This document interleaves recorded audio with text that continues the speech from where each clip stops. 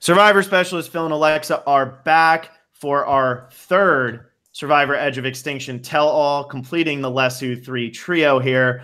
We are joined by my winner pick, Lauren O'Connell. Lauren, thank you so much for coming on. Thank you so much for having me. I'm so excited to be here. Yeah, we're really excited to talk to you. We got a little we got a little hint at what you were going to be talking about, something with cars and orange cars or something.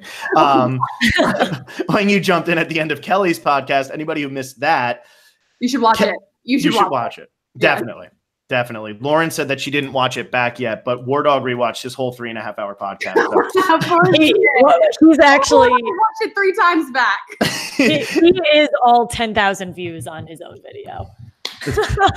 yes. Amazing. Amazing. Yeah. So, Lauren, you have to cross the 10,000 view threshold because right now, Wardog is the only one who's crossed it. Uh, him and Adam Klein are the only two tell alls we've done oh that have crossed 10,000. I, last time I checked, it was like at 8,000. Has he watched it 2,000 times? That's him studying for the bar. That's what he's doing. okay, everybody watching right now, send it to all your friends so we can beat Wardog. Yes. That's what I like to hear. That's the promotion we needed. Yeah. um, well, Lauren, um, we're going to be talking about the Lesu 3. You kind of were like, the quieter of the three. Yeah. So this should be really interesting because Wardog and Kelley, we saw a lot of their moves in the game. We, did. we didn't get to see a lot of your moves from the edit right away. So I'm really curious to hear what you're going to say and if you're going to agree with every single word that came out of Kelley's mouth or every only some that came out of Wardog. Everything, mm. everything. It's it's a mix. I know Wardog has said previously that our relationship is like Wardog and Kelley are step siblings and I'm the kid that came from the marriage, you know, so like I kind of keep us together. Um, it is a very odd dynamic. Um, and they are big characters. And I don't know if I was the one keeping them sane or if we all at different times were keeping each other sane, but I have some deep love for those two.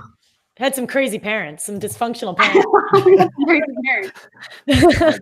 Yes, I yeah, I don't, I don't know, I don't know how you put up with that the entire time, Lauren. Although I will say that it seems like you and Kelley, like immediately, it didn't matter what she, she could have looked you in the eye and been like, yeah, Lauren, really we're not going to get along, and you would have been like, oh my god, I love. You're you. so right. I think Kelley and I have such an interesting relationship, and it was funny.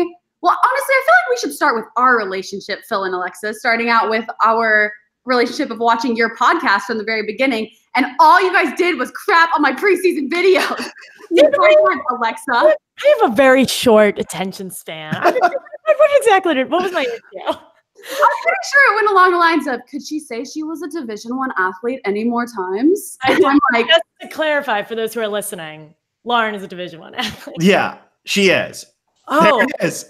Lauren, I, I, I have something for you too. I, I wanted to. Amazing. No, I am with you on that. It was funny watching it all back because I was like so nervous, obviously, at the time. But I listened to these and I'm like, oh my God, somebody tranquilize me. It's so mm-hmm. bad. It's so bad. So, you know what? I relatively agreed with you, but you could have shown a little bit more love. We were Phil, I, I won't say we because I know that I know that this was very much me. I actually I know that you two met in in May, and Phil drunk texted me at like 6 a.m. my time and 3 a.m. your time. He was like, by the way, Lauren thinks you hate her. And I was like, oh my God. I listened to every single podcast. I was like, I supported Lauren so much. Where did I, where did I fuck up? And then one comment and I was like, oh God, that was no, it's, it's all love. I think I watched I watched you guys more because of it because I was like, you know what? I respect that. I was annoying. I get it. I get it. But yeah, so that that's how our relationship started and all love. But um And yeah. I'm over here picking you to win the game based on all of that pregame press. So that tells you how much I know, I guess, or like anyone who told me, hey, um, I picked you for my winner pick from pregame press, I'm like, really? Yeah. Yeah. Like I wouldn't have picked me for pregame pre- like winner for my pregame press, but okay, sure, yeah. Well, uh, and and out of I had it was between you and Eric, and then you end up winning, and then I picked my whole fantasy team, and you're the last player left who was on my fantasy team, and I had that really great fantasy team. You did um, have a fantasy team. I kept laughing every time you were like, "Oh, my fantasy team, my fantasy team is still intact." I'm like, you brought that up pretty often. He did. He really Yeah. Also, also uh, since Kelley called me out for it, anyway, uh, could you tell who I thought was going to win for the second half of the season? Or Oh God, it's so up in the air. it would be between Victoria and Victoria, right? yeah, it was something like that. It was in. I, I don't think he was that into Victoria. I don't know. He seemed a little bored with her. Yeah, this is. But this is this is how I go though. I picked Michele to win back in the day because she was from New Jersey. I'm from New Jersey. Yeah. I like I jumped on the Victoria bandwagon because she was a redhead, and I hoped that I would be as smart as her when I'm playing the game. And I picked you because D1 athletes, Lauren. Yes, we're both yes. D1 I was- athletes. I You was know. a D1 athlete, if you're wondering. Not Yes. even, but I was. Phil Wood was actually as well a D1 athlete. Phil. Yeah. I Take the didn't say it. I don't know if I said it in any of the videos, but Lauren, also me, D1 athlete. So there's two knew- I D1 knew we athletes. had a connection. I That's what it was. That's That's literally the reason I picked you to win. I just don't think I said it in so many words. Lauren, that's that's why I was so against you at the beginning because I was not athletic enough. I was a Okay. sorority girl, so that was my problem. I don't know if you saw my uh, my challenge performance at Lesu. I wasn't that athletic. Oh, we're gonna get into these challenge performances. We'll I get think that's going to be necessary. yeah, we really Um, should, we should start with my Kelley my Kelley fandom though. Really. Please, please. Yes. So I would Yes. say I was in love with Kelley before I even stepped on the boat, right? And I know that Wardog touched on it in his podcast as well, but we're all at that Ponderosa pregame, right? And there were 16 of us because we had two alternates. And I remember thinking, no way we're playing with 16 people. There's just, there's no way. And we get on the boat and there were 14 of us because those two um, didn't make the show. And I remember thinking, 14? Like, where is this? Where's the other tribe coming? I was thinking, honestly, that we were going to be seven and seven and then have another tribe come in and play with 21 because I had no idea what was going on. Um, and I didn't even really think that we would have returners. Um, it didn't even cross my mind. But the second Jeff started talking, I was like, he's about to bring returners. Like 100%, he's about to bring returners. And then, I mean, the boat comes in and you see my reaction, and it is very real. it's very much like, that's freaking Kelley Wentworth. And anyone who says that they would not react like that when they saw Kelley Wentworth is a liar because that girl is awesome. Well, and and my your first confessional is I love Kelley Wentworth and Joe is my all-time survivor crush. Oh, he is. He is. Who is? Who cannot say that Joe is their survivor crush? Again, if you No say he's not, you're lying. Yeah. No, but that's what that's what I'm saying. And I- you had like the most natural reaction to all of it. Whereas like there's other people who are probably like, oh God, how is this going to ruin my game or how is this going to affect my game? You're just like, I mean, you're right on the edge there of the boat, like screaming it out for everybody on I- Kama, I think letting they- them know. I really think they put me there on purpose because if you watch the, if you watch it back, I've watched that scene a couple of times. I'm like, Kelley, Kelley, come to me, Kelley. It's so sad. yeah. So me and Kel had a had a real I guess we just vibed really well, even once we got back to camp. I mean, you see the scene where I'm like, I played college soccer. Boom. Um, but Did "Oh, you? soccer. I'm like, oh my god, you're so cool. oh my god. We, well, we, as you know, we were talking about talking to Kelley about that the other night, like how you guys Im- immediately bonded, and she You was really like, did. "Oh God," she said soccer. I'm gonna immediately jump on I that. know. It I know. seemed supernatural, like really, really quickly. Yeah, it really was. I know that it looks like, oh, Lauren was this fangirl, and I totally am. Like, I still am a total fangirl. But Kelley's just the type of person that you want to be around. You know, she's very easy to talk to. She makes you feel very important and like special and loved. She's kind of like this light, right? And when she's shining on you, you feel really important.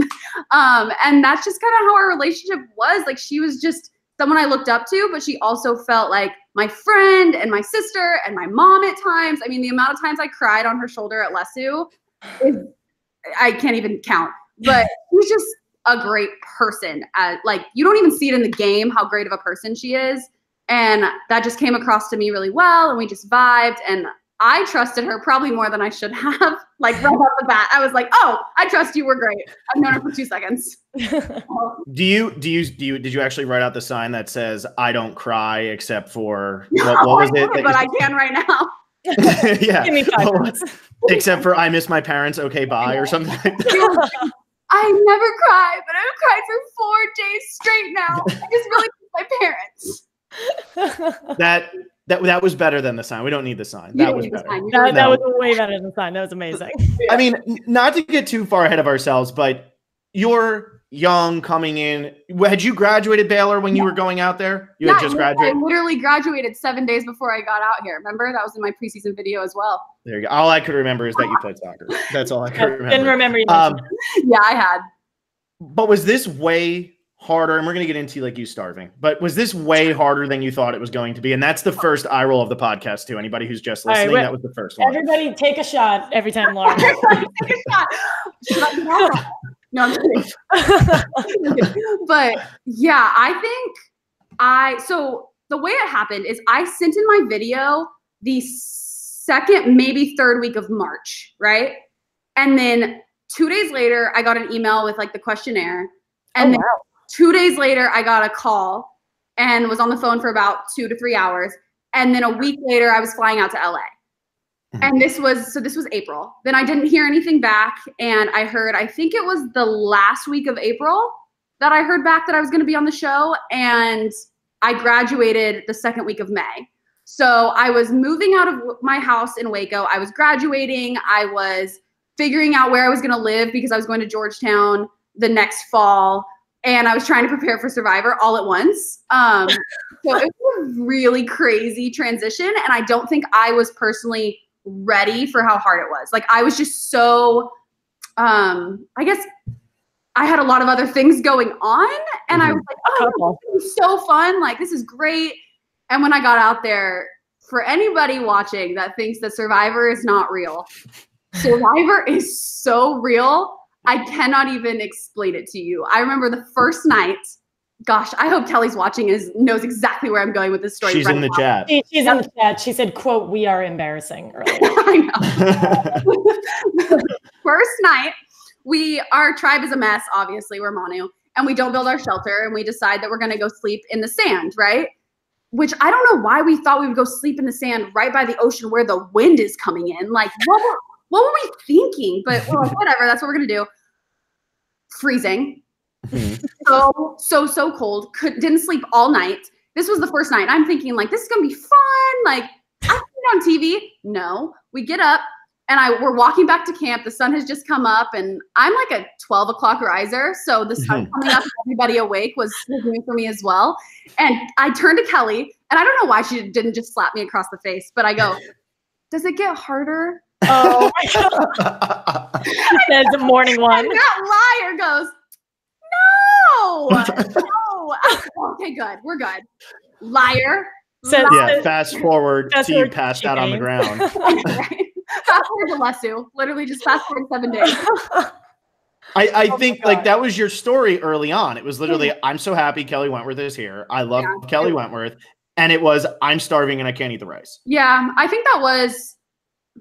Here's the thing I have with like editing and what you don't see. It's like I didn't win, so it's not my story. You know, the story of Survivor is how did this person win? And so whether or not I was having a conversation with Keith before he was voted out, or I was having a conversation with Reem, or all the things that I was doing, isn't necessarily as important as I think some people maybe think it is because I didn't win. If I had won, they would have shown my relationship with everyone. You know what, Mhm. you know what I mean? So, yes, I was doing a lot more than just fangirling over Kelley and not dying as a corpse over there on Longview. um, but they showed the big moments, I would say. I mean, I, f- I actually found my idol on day two. Um, so I had it going Oh. into the first tribal. Yeah. Um, but they showed it in the second episode, which is fine because it wasn't you didn't need to show the fact that I found the idol on day two because Uh-huh. I wasn't going home. I wasn't going to play it, and it wasn't that big of a deal. You know? And there, there was a lot of problem with that first episode just being an hour because you're trying to cram Yeah, so so much short. in. so much. You have to get Edge of Extinction. We have four returning players. We have Ron Clark find an advantage, and it's just like, I found this. right, right. Exactly. And Yeah, you have, bet- you have to say that because in the future he gives it to Rick, Mhm. and people Yeah. people don't really get that until he does give it to Rick because they're like, why are they showing this? Why are they showing this? Um, but I was personally thankful for the fact that my idol find was in episode two because they just threw me a softball and I could just hit it out of the park because they're like, women don't find idols, women don't find idols, women Mhm. don't find idols. And then I'm like, oh, here's one, you know? Yeah, like, look at this thing I found. Yeah. So, so you fi- you find that on day two. I know I like I know you just said um Like I, I, bet if that episode is 90 minutes, we probably would have seen you find that early on. Yeah. But so you find that day two, and I, I think this is something that Phil and I, or maybe just me, um, talked about. And I know I'm sure a lot of people posted about this, but then you bury it, bury it in yes. the sand. Like tell us oh about finding that. Like tell us about the the entire finding it. Because finding yeah. it on day two is a huge, like that's awesome. I get I got so much crap online for for burying it near the ocean. and I'm like in my head thinking, y'all, what part of me thinks, yes, you, from you. I'm pointing at Alexa, no, not me. I'll, I'll, own that. Phil, you totally said that too. That was my winner pick. I was stoked. Was you may as well have just chucked it in the ocean. Everyone's like, what happens if it washes away? And I'm like, you guys, I'm not even close to the ocean. Like, the reason the sand is wet is because it was pouring rain. Like, the ocean wasn't even in the camera no, shot. it wasn't even close to where we were. I mean, I'm talking like, I'd say 80 to 100 yards away, like not even close. I'm behind a rock. Like this is not getting washed away by the ocean, people. It's not happening. And also, I did, I had to go. So, like, we were, I don't remember what we were doing, but something was happening. And so I had to dig, I had to find somewhere that I could put it that was really quick and I didn't have to dig super deep. And so it looked like the sand was wet.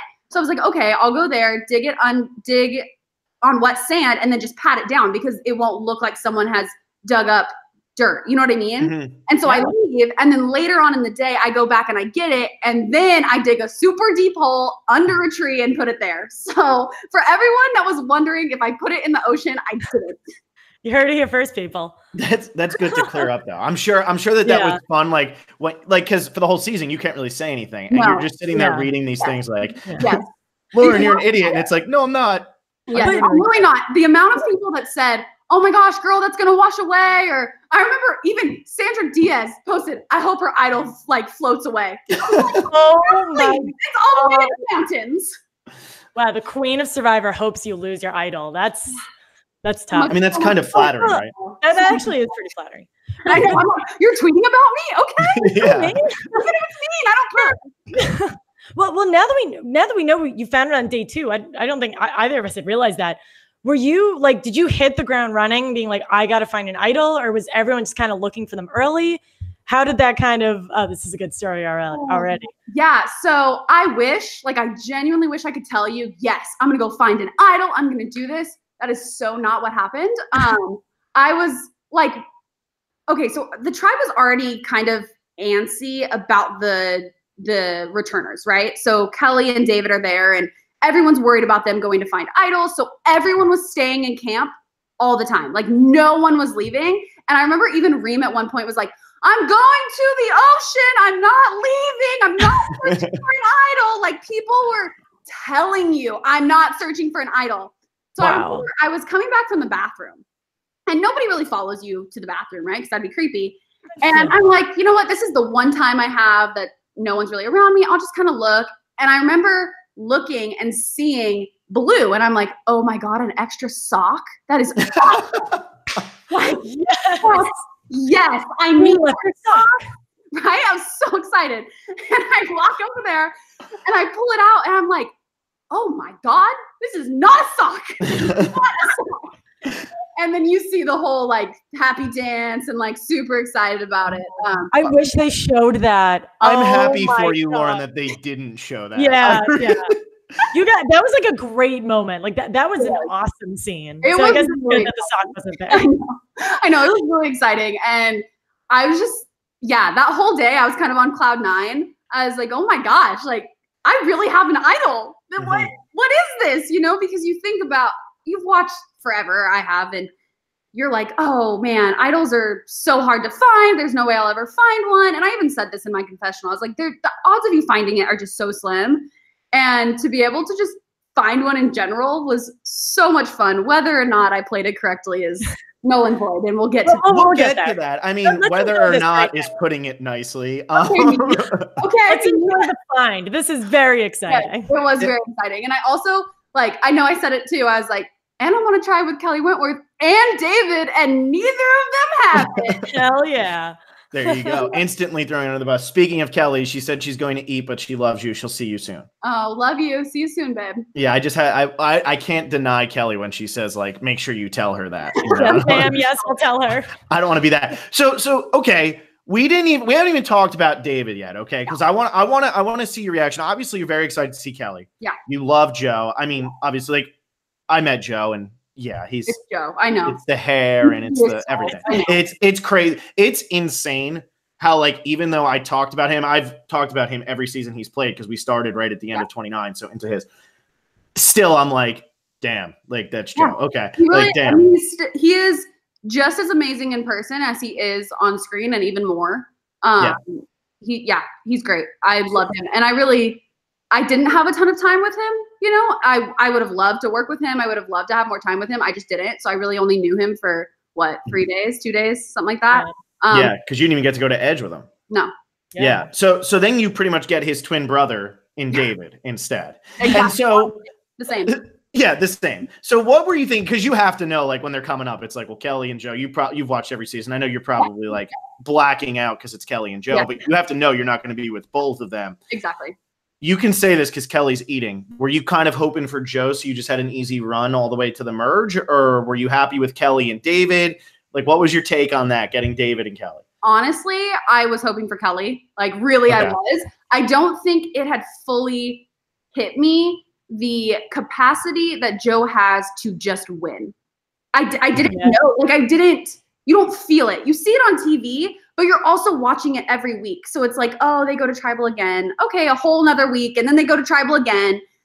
But it's like, it's every day out there. It's so much Mhm. more than what you see on TV and I did I didn't know that going in. So Mhm. I obviously I would have loved to be on a tribe with Joe, but Kelley was my you know number one draft pick all the way, and obviously her and David were kind of wearing the same colors, so I assumed we were getting David, and I had seen David's season, and I really liked David. I thought David was fun to be around. He was sweet. I didn't know him, um, and he wasn't he wasn't like my. I felt like Kelley was kind of more in my archetype, or kind Mhm. of I would vibe with well.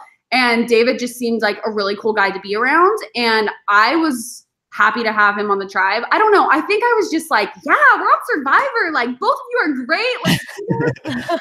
And yeah, so that that was my first reaction to David. I was just like, yeah, like let's do this. And I also felt like David was one of the people that was going to try and help you a lot, and he totally did. I mean. David and Kelley, the second we got to the beach, were like, let's do this. I remember listening to Kelley's podcast and her saying she didn't even know how to do Yeah. bamboo fire. I'm like, mm-hmm. sitting there fuming because Kelley, we worked on that for so long. And she was like, Yeah, it's gonna happen. And knowing she didn't even know what she was doing is hilarious.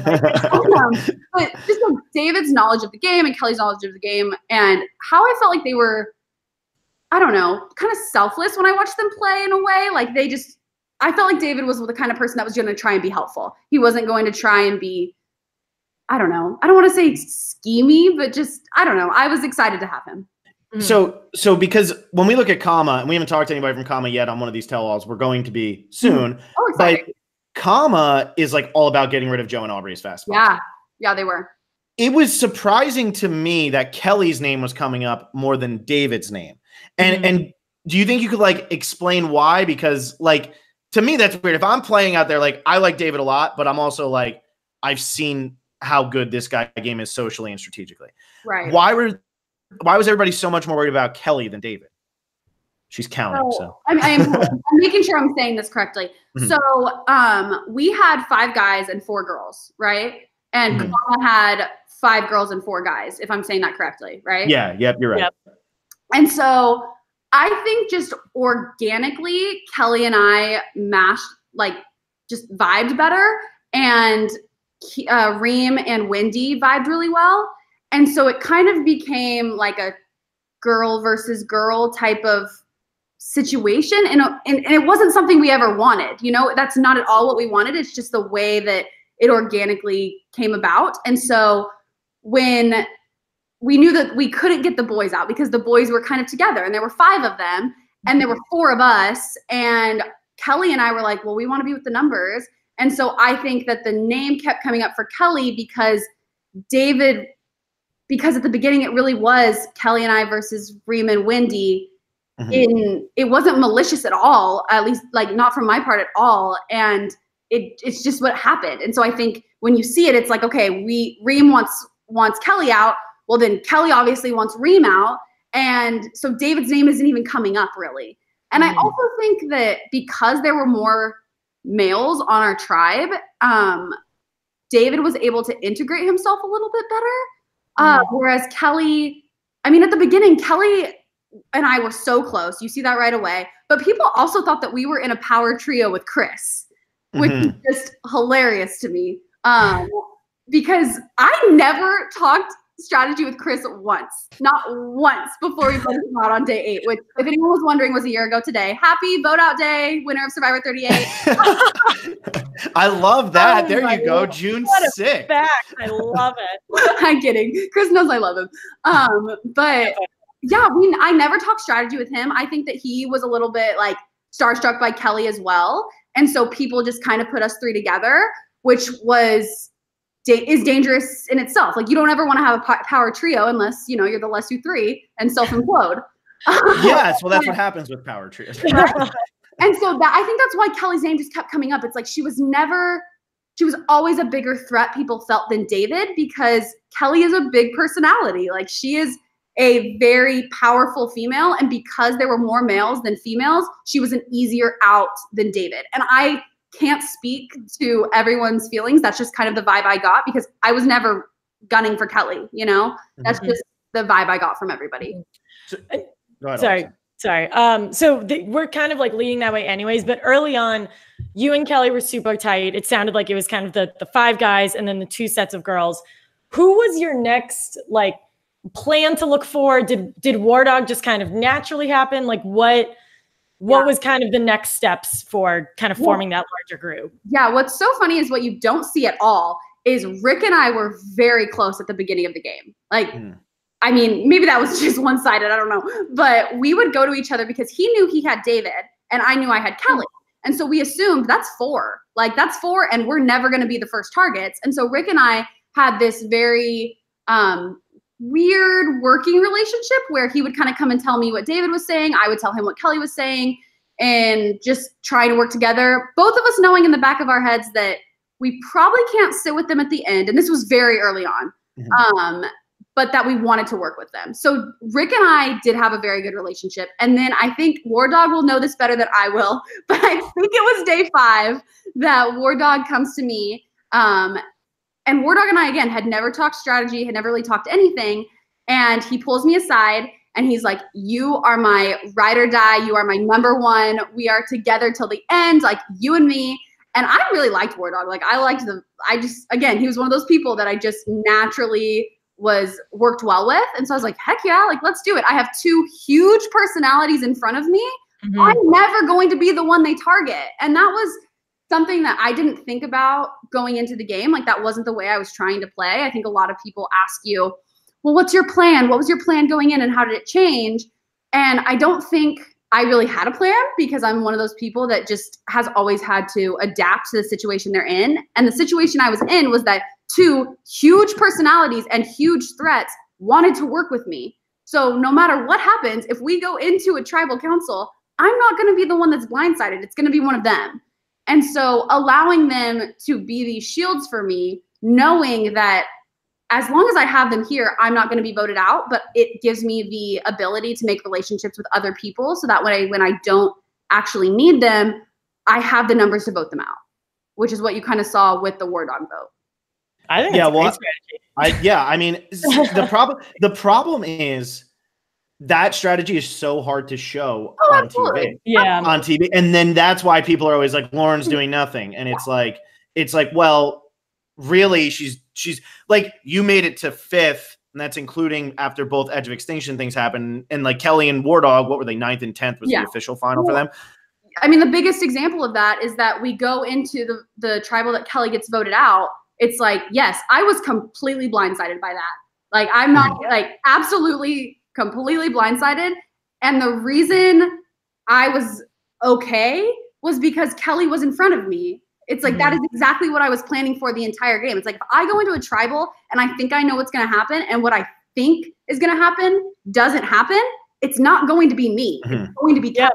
And also, if Kelley plays her idol, I have mine. So I think I felt a really good sense of security knowing that people are going to be gunning for Kelley and Wardog before they're going to be gunning for me. Mm-hmm. Yeah, I think that's really smart. And then um, you said something interesting before, though, where you were like, me and Rick would never be the targets. And I actually thought that final five of Lesu, when you guys were just the Lesu tribe, I thought it was interesting that the two of you were the targets. Yeah. to me, it's like, isn't that the perfect time to get rid of David or Kelley before they're Yeah. able to actually hit the merge? Was Rick seen as a big threat at that point by you guys more so than David? Or did you just feel like like Rick's gonna just jump ship as soon as he gets there? Um, I think that from my end, David and I had kind of developed a better relationship while we were on Lesu. Um, I don't know why really. I can't I can't pinpoint it. But I also knew that Rick is very likable. Like people see him on screen and they instantly like him. Um, and I that made me nervous. It made me Mhm. nervous that he is the kind of person that wants people to like him and be involved with him. You know, he's going to go to these people and he's going to say, Hey, I don't know you, but let's be friends.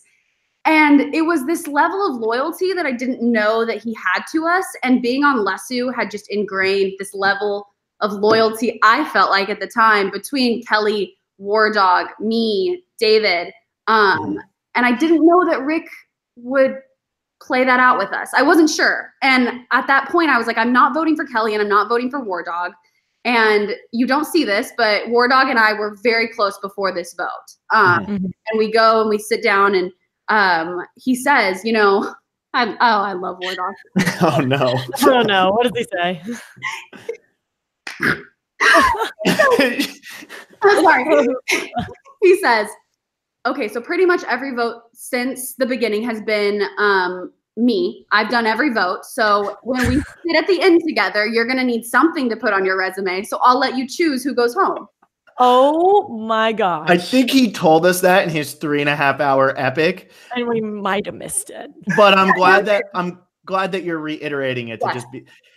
So, How so did when, you take that? yeah, that's that's the only. How did question. you how do you react to that? I I think the number one thing you can't do in Survivor, and I think was something that um I maybe lacked towards the end was play prideful, not just emotional. Like obviously emotions play a huge role in the game, um, but it's it's pride that I think really kills you in the end. So I was totally fine letting Wardog tell me what he thought because the thing is, the stupider Wardog thought I was, the better situation I was in. Because if War Mhm. Dog thinks I'm an idiot and Wardog thinks I'm just like, yes, Wardog, whatever you say, Wardog, then he's to take me to the end. And that was fine for me for the time being because if the person that you're with thinks they can beat you, they're not going to vote you out. Mhm. And so I think that him talking to me was just, it honestly just solidified in my mind. He really doesn't think I'm that smart, which is fine. I don't need him to think I'm that smart because at the end, if I have other alliances, I can vote him out. Um, Exactly. and so that was kind of my way of dealing with Wardog. We do we get into it a lot over challenges and stuff. so when it came to that, it's like he said, "Who do you want to vote out?" And I I think you see it on screen. I say I I think that Rick is the one that is most likely going to jump ship. Um, I don't know, and we don't really have any good options because at that time I was genuinely so sad, like so sad. We had become this family. It really did feel like everyone was against us. I mean, you see it in the challenge where we make the we get the buoy out, right? Mhm. Kama is yelling to New Manu like the way to make the puzzle. And anytime we had a challenge with all three of us, Kama was cheering for Manu. Like Mhm. it just it was so depleting. And it was so sad to lose someone that you really felt like you were close with because we had voted together for so long. Mhm. Yeah, and and what's interesting about what you're saying there is that by Wardog thinking that you're not that smart on a depleting tribe, now you're down to four people. You know, I mean, it was just like never ending. You don't know how long you're going to lose. Yeah. You're push. You're putting yourself in a position where it's like, okay, well, if Wardog's always the swing, I'm. You were essentially turning into the swing for Kelley and Wardog Yeah. because David Yeah. goes home if you guys lose that buoy challenge, right? Yes. I mean, I I assume so. I can't speak for Kelley and Wardog. I think they've both said that David goes home, Mhm. um, but I'm not sure. Um, I didn't know that Wardog was pitching my name to Kelley. I think it was after the Rick vote that he starts pitching my name to Mhm. Kelley, um, which I think is comes from the fact that we just got into it a lot over challenges. Like I'm a very strong personality when it comes to athletic competitions. Like I totally am. Sh- I mean, I said "damn it, Wardog" more times than I can count. it was it was amazing. you getting dropped on the one where David was like too scared to reach Dog. for it, and then you do it, and then he Oh, just God. drops you like on your face. does. But I mean, here's the thing. We've talked about this so many times. You know how Wardog is. Um, and he's like, I didn't know what to do. I didn't know. Kelley should have been up there. And I'm like, yeah, Kelley probably weighs like 40 pounds less than me. Mhm. But at that point, I was just so like, I want to win. I want to win. Wardog, put me on your freaking shoulders. You know? and he does it. And he didn't drop me on purpose. But I'm so competitive and I was so sick of losing that it just came out. And I mean, that is totally on me, honestly, just being emotional during No, the that's a great quote. Never apologize for that. That was a fantastic quote. And I, I- yeah, that was that was a good time. But uh, I don't think anybody blames you though, because it's like, okay, so natural. I'm gonna say this as many times as I can this podcast. But so you're a D1 athlete, and then shot. No, it's the Yeah, rolling the then- eyes to take a shot. well, she's she's rolled her eyes a couple times. For anybody who's listening, I Oh, think we're I up to four. I have Yeah, the we'll seven. be and more now- on iTunes. we're. How long have we been going? It's only been four. We are 36 drunk. minutes. Wow, one per nine minutes. You got to you got to Oh pick this up. my god! But so you're a D1 athlete. Wardog's got sports team tattoos on his arms. Also. He's got sports team tattoos Mets on his. pitcher. Yeah, you, like you have Chris Underwood, who's like a pretty big dude, and you guys can't win anything. Can't win I mean, nothing. And and so, like, what was it like for you? I mean, you had an idol literally every tribal council you went to, so you're probably not super scared. Yeah. But what's it like to go out there the first time you're playing Survivor and just be on the train wreck tribe?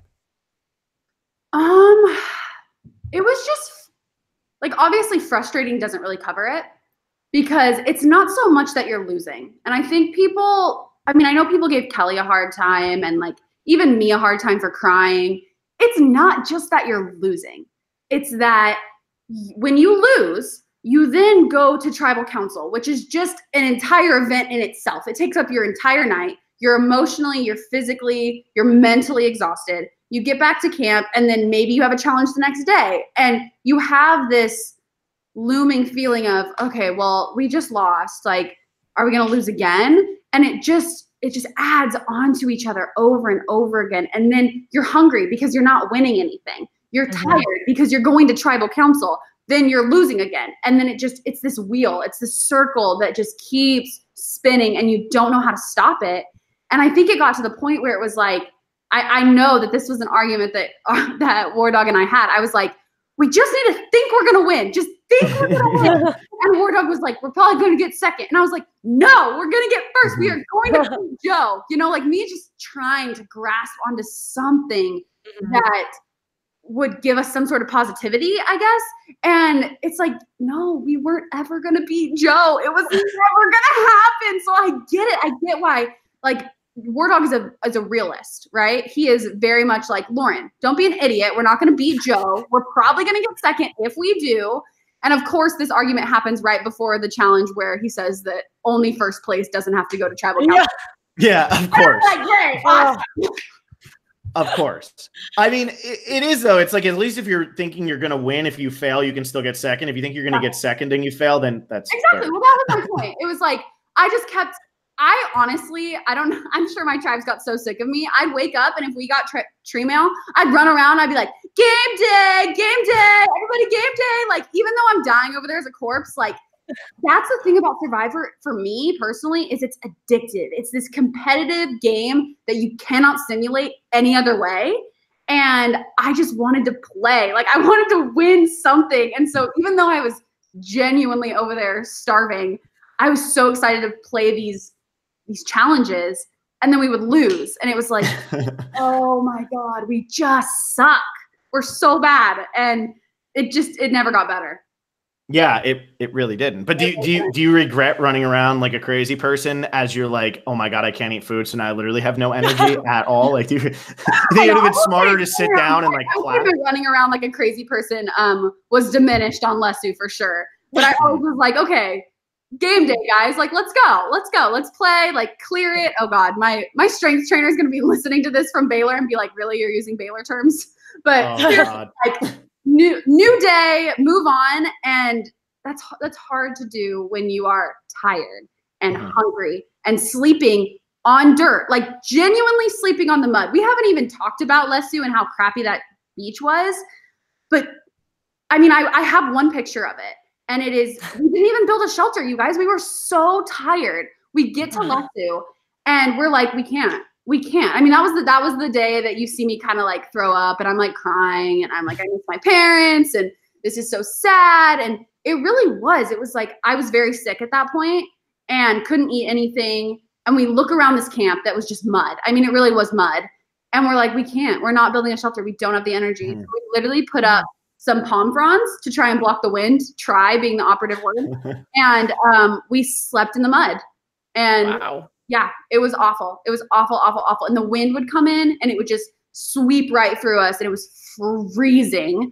And like, thank God for Kelley and David keeping that fire going. Like they really were the mom and dad of Lesu. Like I we I, I don't know. It was awful. It was so, so bad. And I think about watching these clips from Kama where it's like they obviously are winning because they're eating and they're sleeping on an actual, yeah, they're sleeping on bamboo. And I'm not saying that the bamboo was comfortable, but it's a whole heck of a lot better to have some sort of shelter than sleep on the mud and Mhm. literally be terrified that it's going to rain. I mean, Mhm. I remember one day it was it was some night on Lesu. And first of all, I had like no clothes as it is. I'm wearing like some sort of random sweater. I have a crop top and I have li- like joggers, right? So I'm freezing all the time. And we're laying there and I feel a couple like drips of water, right? Mhm. And I just remember my stomach going into Ugh. knots, just pure knots, thinking, I, I can't, I can't do this again. Like it cannot rain because my clothes won't get dry. We, our fire will go out. Nobody will be able to eat. We'll just be living in the mud again. Like it was some dark days over there on Lesu. It really was. That Yeah. doesn't sound like fun. Like I, I would love to play Survivor. It doesn't sound like fun. So I mean, I'm sure that your tribe would do better than Lesu. Like you really can't do worse. So I mean, yeah. I mean, there's probably only from that original Manu tribe. There's not many tribes who have done worse in Survivor history. Yeah, I know you're a huge Survivor fan. You've Yeah, watched every season, right? Like you're. Yeah. th- There's not many. I mean, Ulong yeah, that's jumps to mind, but Yeah, that's an easy one. Yeah. I really don't think you can get much worse than us. Um but i don't know. Again it's one of those things that i think back it's like it really has bonded you know especially kelley and wardog and me together. It's like we went through this really horrible experience and no one can no one will ever understand it and no one can take it away from us and i think that that's one of the things that makes survivor so special is like yeah it was awful but you're also doing this willingly because you love it you know so i complain but it also is one of those things where it's like i'm never going to quit i'm never going to quit i want to be here but man it was it was really bad Well, I mean, so were you? Uh, one more thing about the pre-merge, I guess. Okay.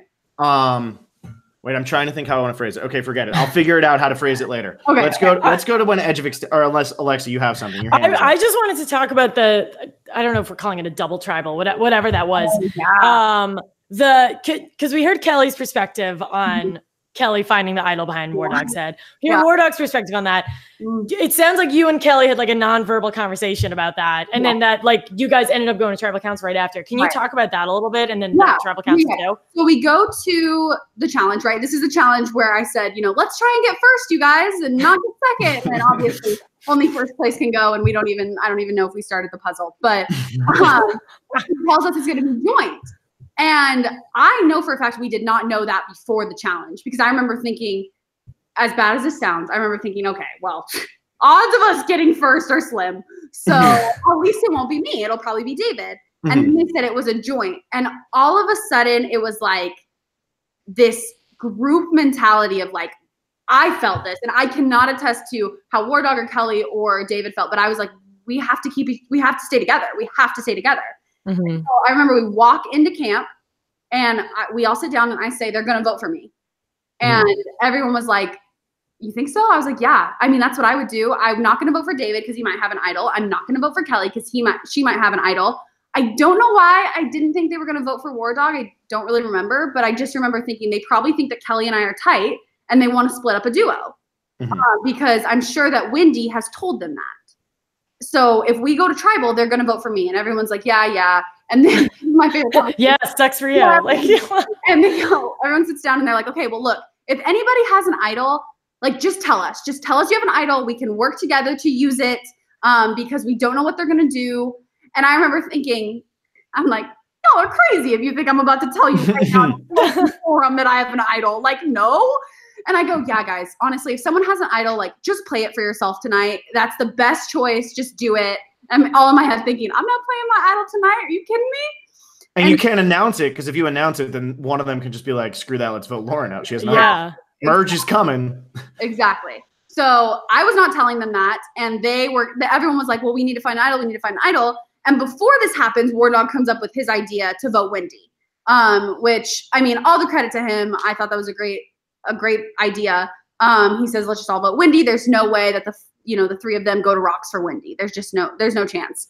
Um, and then you have my quote where I say, I don't go to rocks for Wardog. I was about to say one, one of your like top five quotes. That's such a good one. I know. Yeah. I, I mean, back then, I I guess I wouldn't have. I don't know. I don't really remember my feelings on that situation because really what sticks out in my mind is the actual tribal and being so scared that I got four votes. Um, but yeah, I don't know that I would have gone to Rocks for Wardog. Maybe I'd like to say I would have. Um, at least I pretended like I would have at tribal. Um, but yeah, so we we we come up with this plan, but then everyone says, you know, we really should go look for the idol. And I'm thinking, yeah, we really should go look for the idol. I've been looking since we got on that beach as with as much energy as I could muster, you know, and I know what it looks like. I know mm. that it's probably going to be in a green little like tied up canvas because Lesu was green and Manu was blue and mine was blue. Um, and so I'm looking everywhere. I'm looking in the vines because that's where I would hide it because it's green. And so everyone's looking, and really, I guess fast forward to when Kelley finds it is I'm sitting there I'm, sta- or I'm standing there with Wardog and Kelley, and we're chatting. And Wardog looks away for a second, and Kelley goes, "Take it, camp." and I'm like, "Okay, Wardog, hey, we should go check over on the other side. I haven't checked there yet, and I've checked all around here." And he's like, "Yeah, yeah, you're right." And walk back to camp, and I'm thinking that girl better found that idol. Mm-hmm. Um, and yeah, we get back to camp, and then she says, "I got it." Um, which it was funny to hear her say that she wouldn't have told me if I hadn't have been there. Um, because I hadn't really thought of that before. I hadn't thought, okay, if I wasn't standing there when she found it and needed me to take Wardog away, would she have told me? Mm-hmm. Um, although I think if she hadn't told me, I wouldn't have told her. Right. So Which maybe, means I can pinpoint the loss of my game to that moment. Have you have you forgiven Kelley, or is it just like you're never gonna forgive her for that? Oh my gosh, for what? For telling people I had an for, idol? Yeah, for well, I mean, like I can't forgive her because you would have won, and it ruins my winter games. I don't when, know if I would have won. There's so many what ifs, but um, I think that I want to blame Kelley. That's okay. fine. I never, I never will. I love her too much, but I know I a lot of people have asked me this, and a lot of people gave her so much hate on Twitter yeah. and Instagram. And it was like, you guys, first of all, it's a game. Like, I chose to play the idol for Chris. I made the decision. I own that. But even before that, it's like Kelley has played two other times and she's used to being voted out and going to Ponderosa where you can have a beer and you can share all this information. And it's like nothing you say affects the game. She's just been blindsided by her biggest ally. And she gets to this weird beach. Like, I don't know, I was never there, but I assume it was probably pretty hostile. She gets there and people are asking her questions. And she, I mean, you saw me after I got voted out. If you watched my Ponderosa, I'm like, mm-hmm. woo, everywhere. Like having to then go to the beach, still be in the game and try to control your thoughts. And it wasn't like she said, hey guys, I have an idol. Or sorry, Lauren has an idol. She said, oh my gosh, I cannot believe I got voted out with an idol. And then David, thinking she had the idol from Manu, says, "Oh, is it the Manu idol?" And she says, "No, Lauren has that one." Like it, mm-hmm. was, it wasn't malicious. It's like a conversation. Yeah, and even what's so funny is I knew that they knew I had an idol. I knew. You did. Yes, because of the way they reacted on the jury. Every time he said, if anyone has a hidden immunity idol, now would be the time to play it. They'd look at Every you. single human on that jury would look straight at me. Mhm. Every single one. And I even remember them being like, is she gonna play it? Is she gonna play it? Like I knew they knew.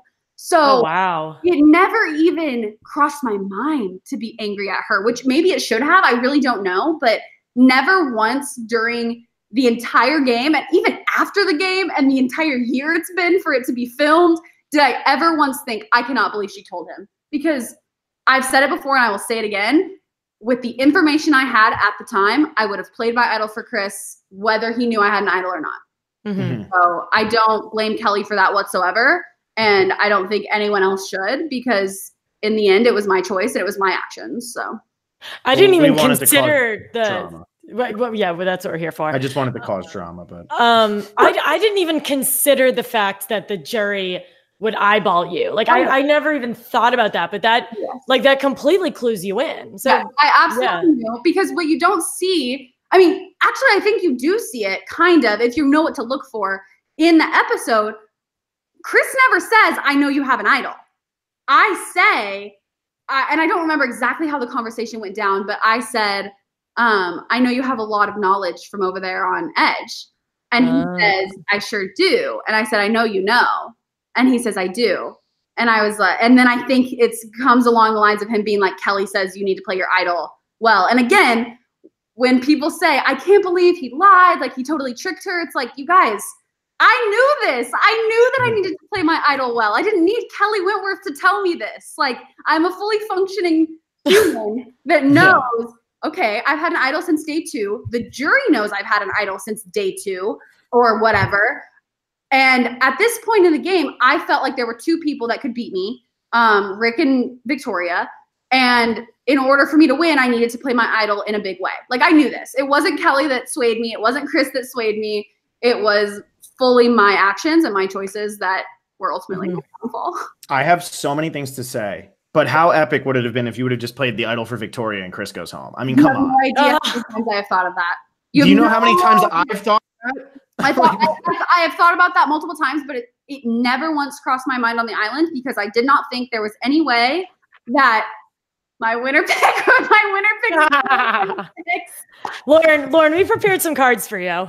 Oh, I'm so excited. I'm so excited. Um, I, yeah, we uh yeah, it's a bummer. yeah. We are we are getting ahead of ourselves though. We're getting We ahead are. We are. Oh, I want to say the Yeah. other thing I wanted to say about this is it reminds me of like a Troyzan situation. And and we've had we did our tell all with Troyzan Mhm. um back during Game Changers.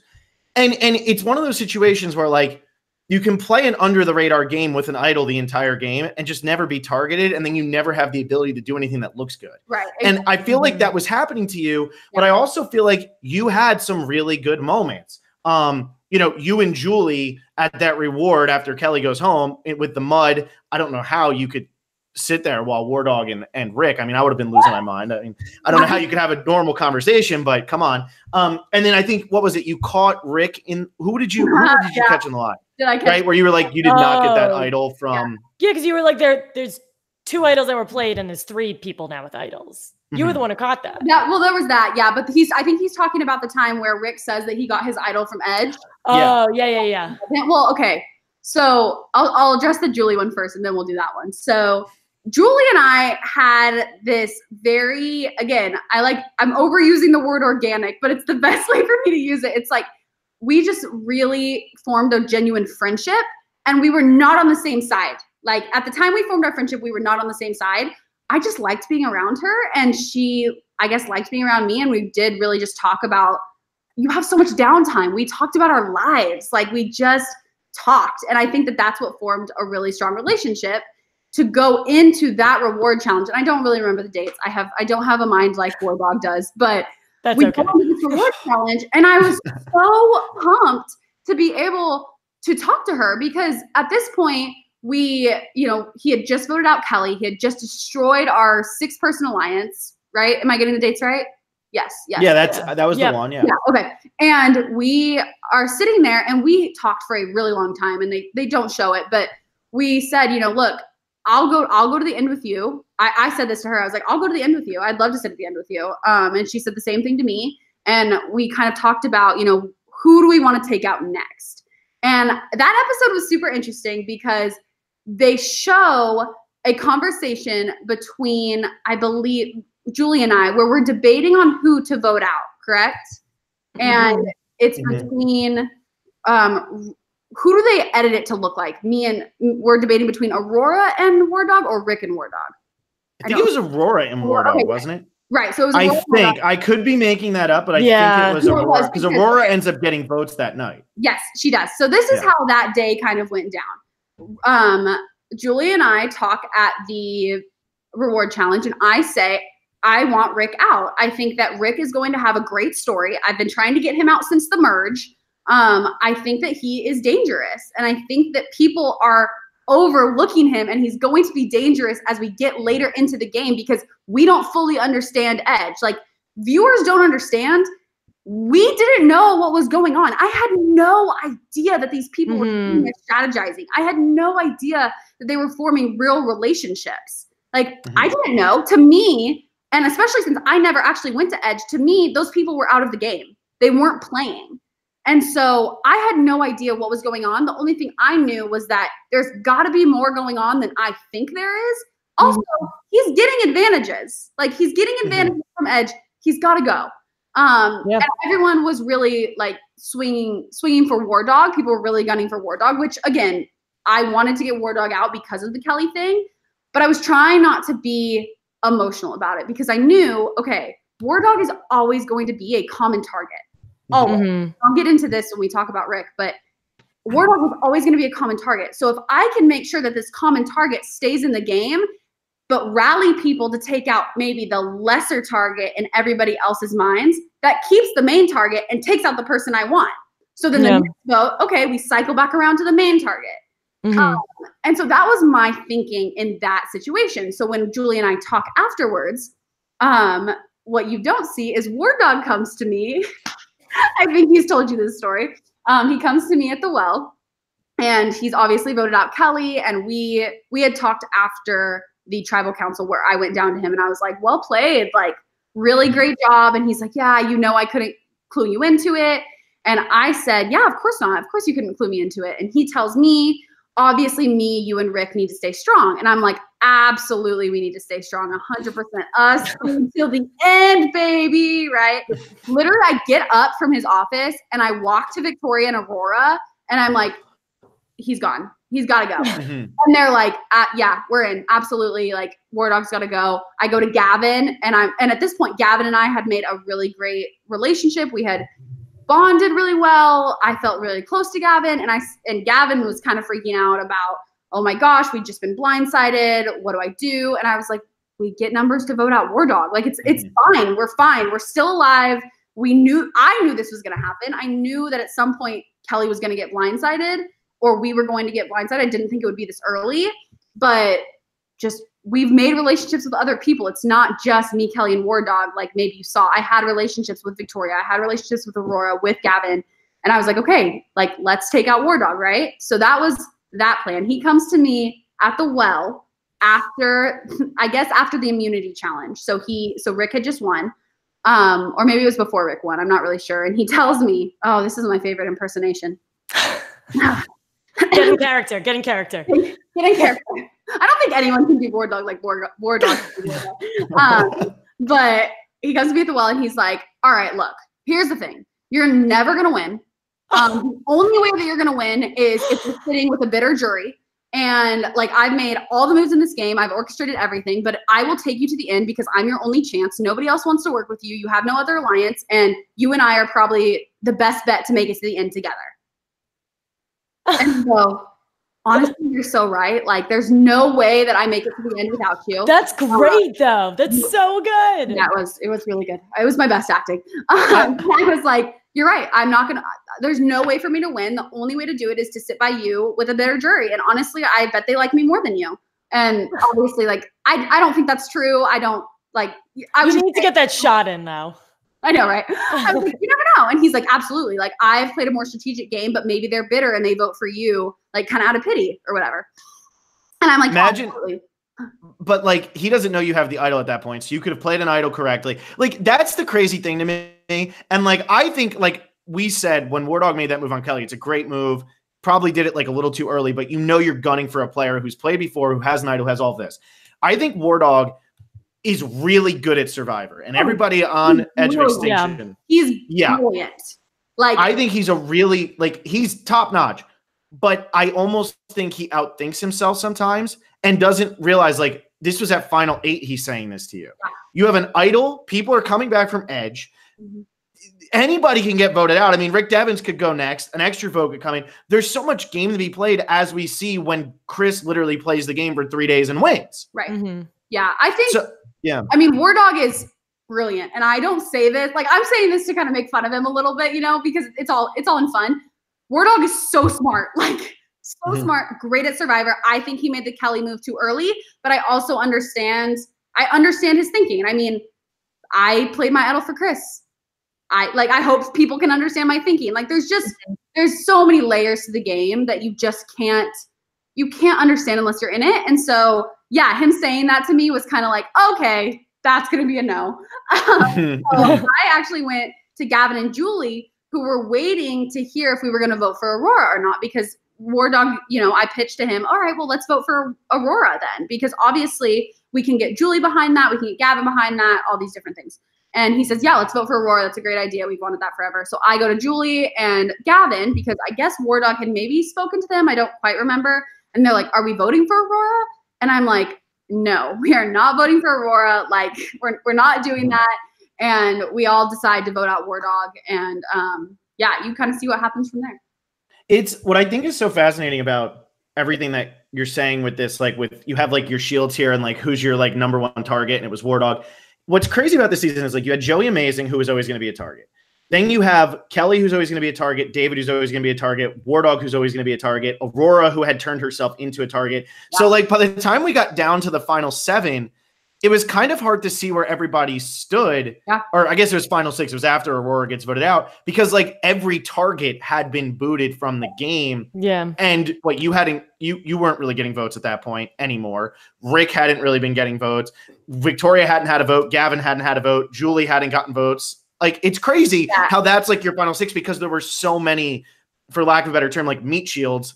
Not calling them meat shields because, but like they were all just shields for yeah. everybody. No, mm-hmm. absolutely. And I think that one thing about like my game was that people don't remember that I went into the merge with two allies. Like mm-hmm. I had mm-hmm. two people on my side versus pretty much nine. Um, and I was able to integrate myself into Kama really well. Like Gavin mm-hmm. and I became very close. Julie and I became close. Victoria and I had like a combative relationship just Gavin was kind of at the center of it. But I always knew she was so smart and I wanted to work with her. And we had this like working relationship to the point of like, I think the word that comes to mind when I think of Victoria is like self preservation. Mm-hmm. So good at that. She's so good at being on the right side of the numbers. And that's what that's what Survivor is, right? And yeah. so we had a working relationship. Aurora and I had this weird, like, competitive relationship where it was like we both understood each other's drive. Like, I had real relationships with these people, which allowed me to not get votes in the end because I made people want to work with me. Like, I, I know this, this all sounds kind of like self promoting, but it's like I did go into the merge with only two people. And at the end of the game, I was in the majority. Like, I I feel like that's how the people at the end played their game, and they weren't as showy. Like Victoria, always kind of under the radar, but playing an incredibly smart game. Gavin, friends with everyone. Julie, friends with everyone. Just like it became more of a social game, I'd say, um, towards the end, and maybe not so much.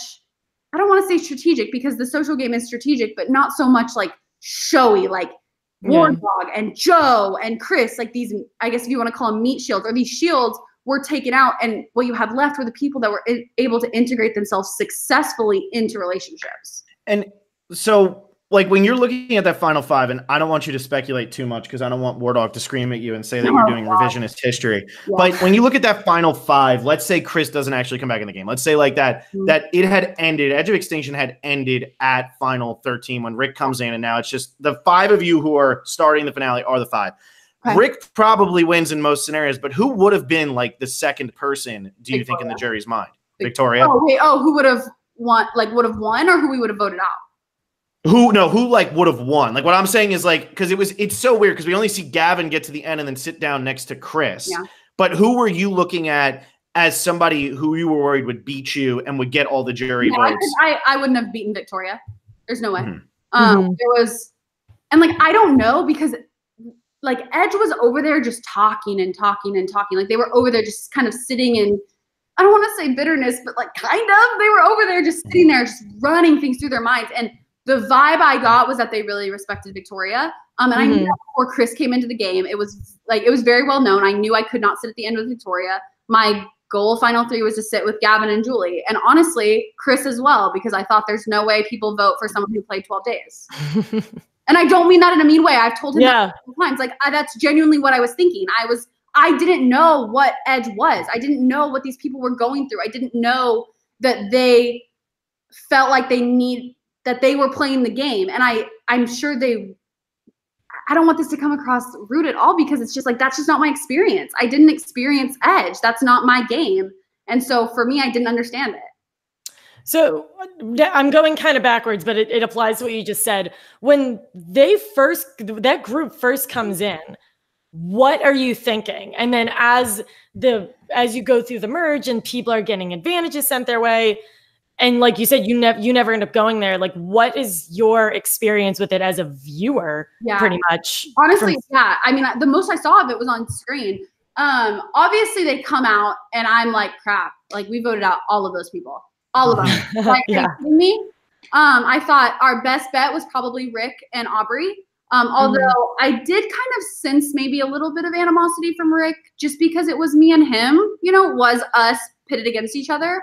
Um, but he went out in such a kind way that I just kind of assumed that it would be fine. Um, and then obviously, like you see the Lesu three jump up for joy when Rick comes back into the merge. Like we're so excited. The five are back together.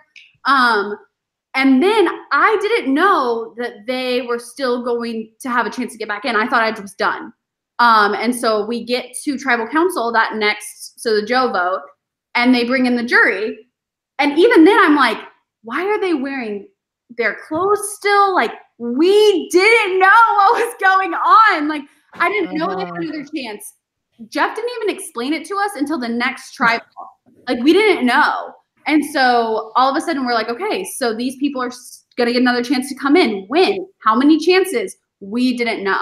We didn't know where they were really living. We didn't know if they were living together. And anything Rick told me was, I just assumed it was a lie. Like I didn't know. Um, so my my overall consensus on Edge of Extinction is, what the heck is going on? Like I had no idea. No Yeah, and it- idea. I never went. So honestly, I can't even attest to anything that went on there because it's all secondhand information. Even the things Mhm. I've heard from people, it's like, okay, Kelley's telling me this, Wardog's telling me this, Aubrey's telling me this. It's like, yes, and I believe and trust those people, but it's secondhand information. I didn't experience it. So I don't feel like I have the right to even speak on it. Do you think that Manu is at a dis the, the members who are left for Manu are at a disadvantage because everybody there is Manu except for Aubrey? Like, do you think that you're at a disadvantage because pretty much whoever's coming back is going to be sl- feel slighted by all of you? It's, I, I felt like it depended on the person. Yes. Um, Mhm. obviously like if Reem came back, it wouldn't have been great for us. Um, if Wendy came back, it wouldn't have been great for us. I felt like Chris was kind of neutral to me at that point. I didn't feel Mhm. like we had ever really blindsided him. Um, in I mean, I mean, we did, but I didn't do it maliciously, and I honestly wasn't a huge part of that. Chris and I were off killing the chicken together. There we go. We haven't really talked about the chickens much on, Yeah, on we- any of yeah. these podcasts yet. Yeah.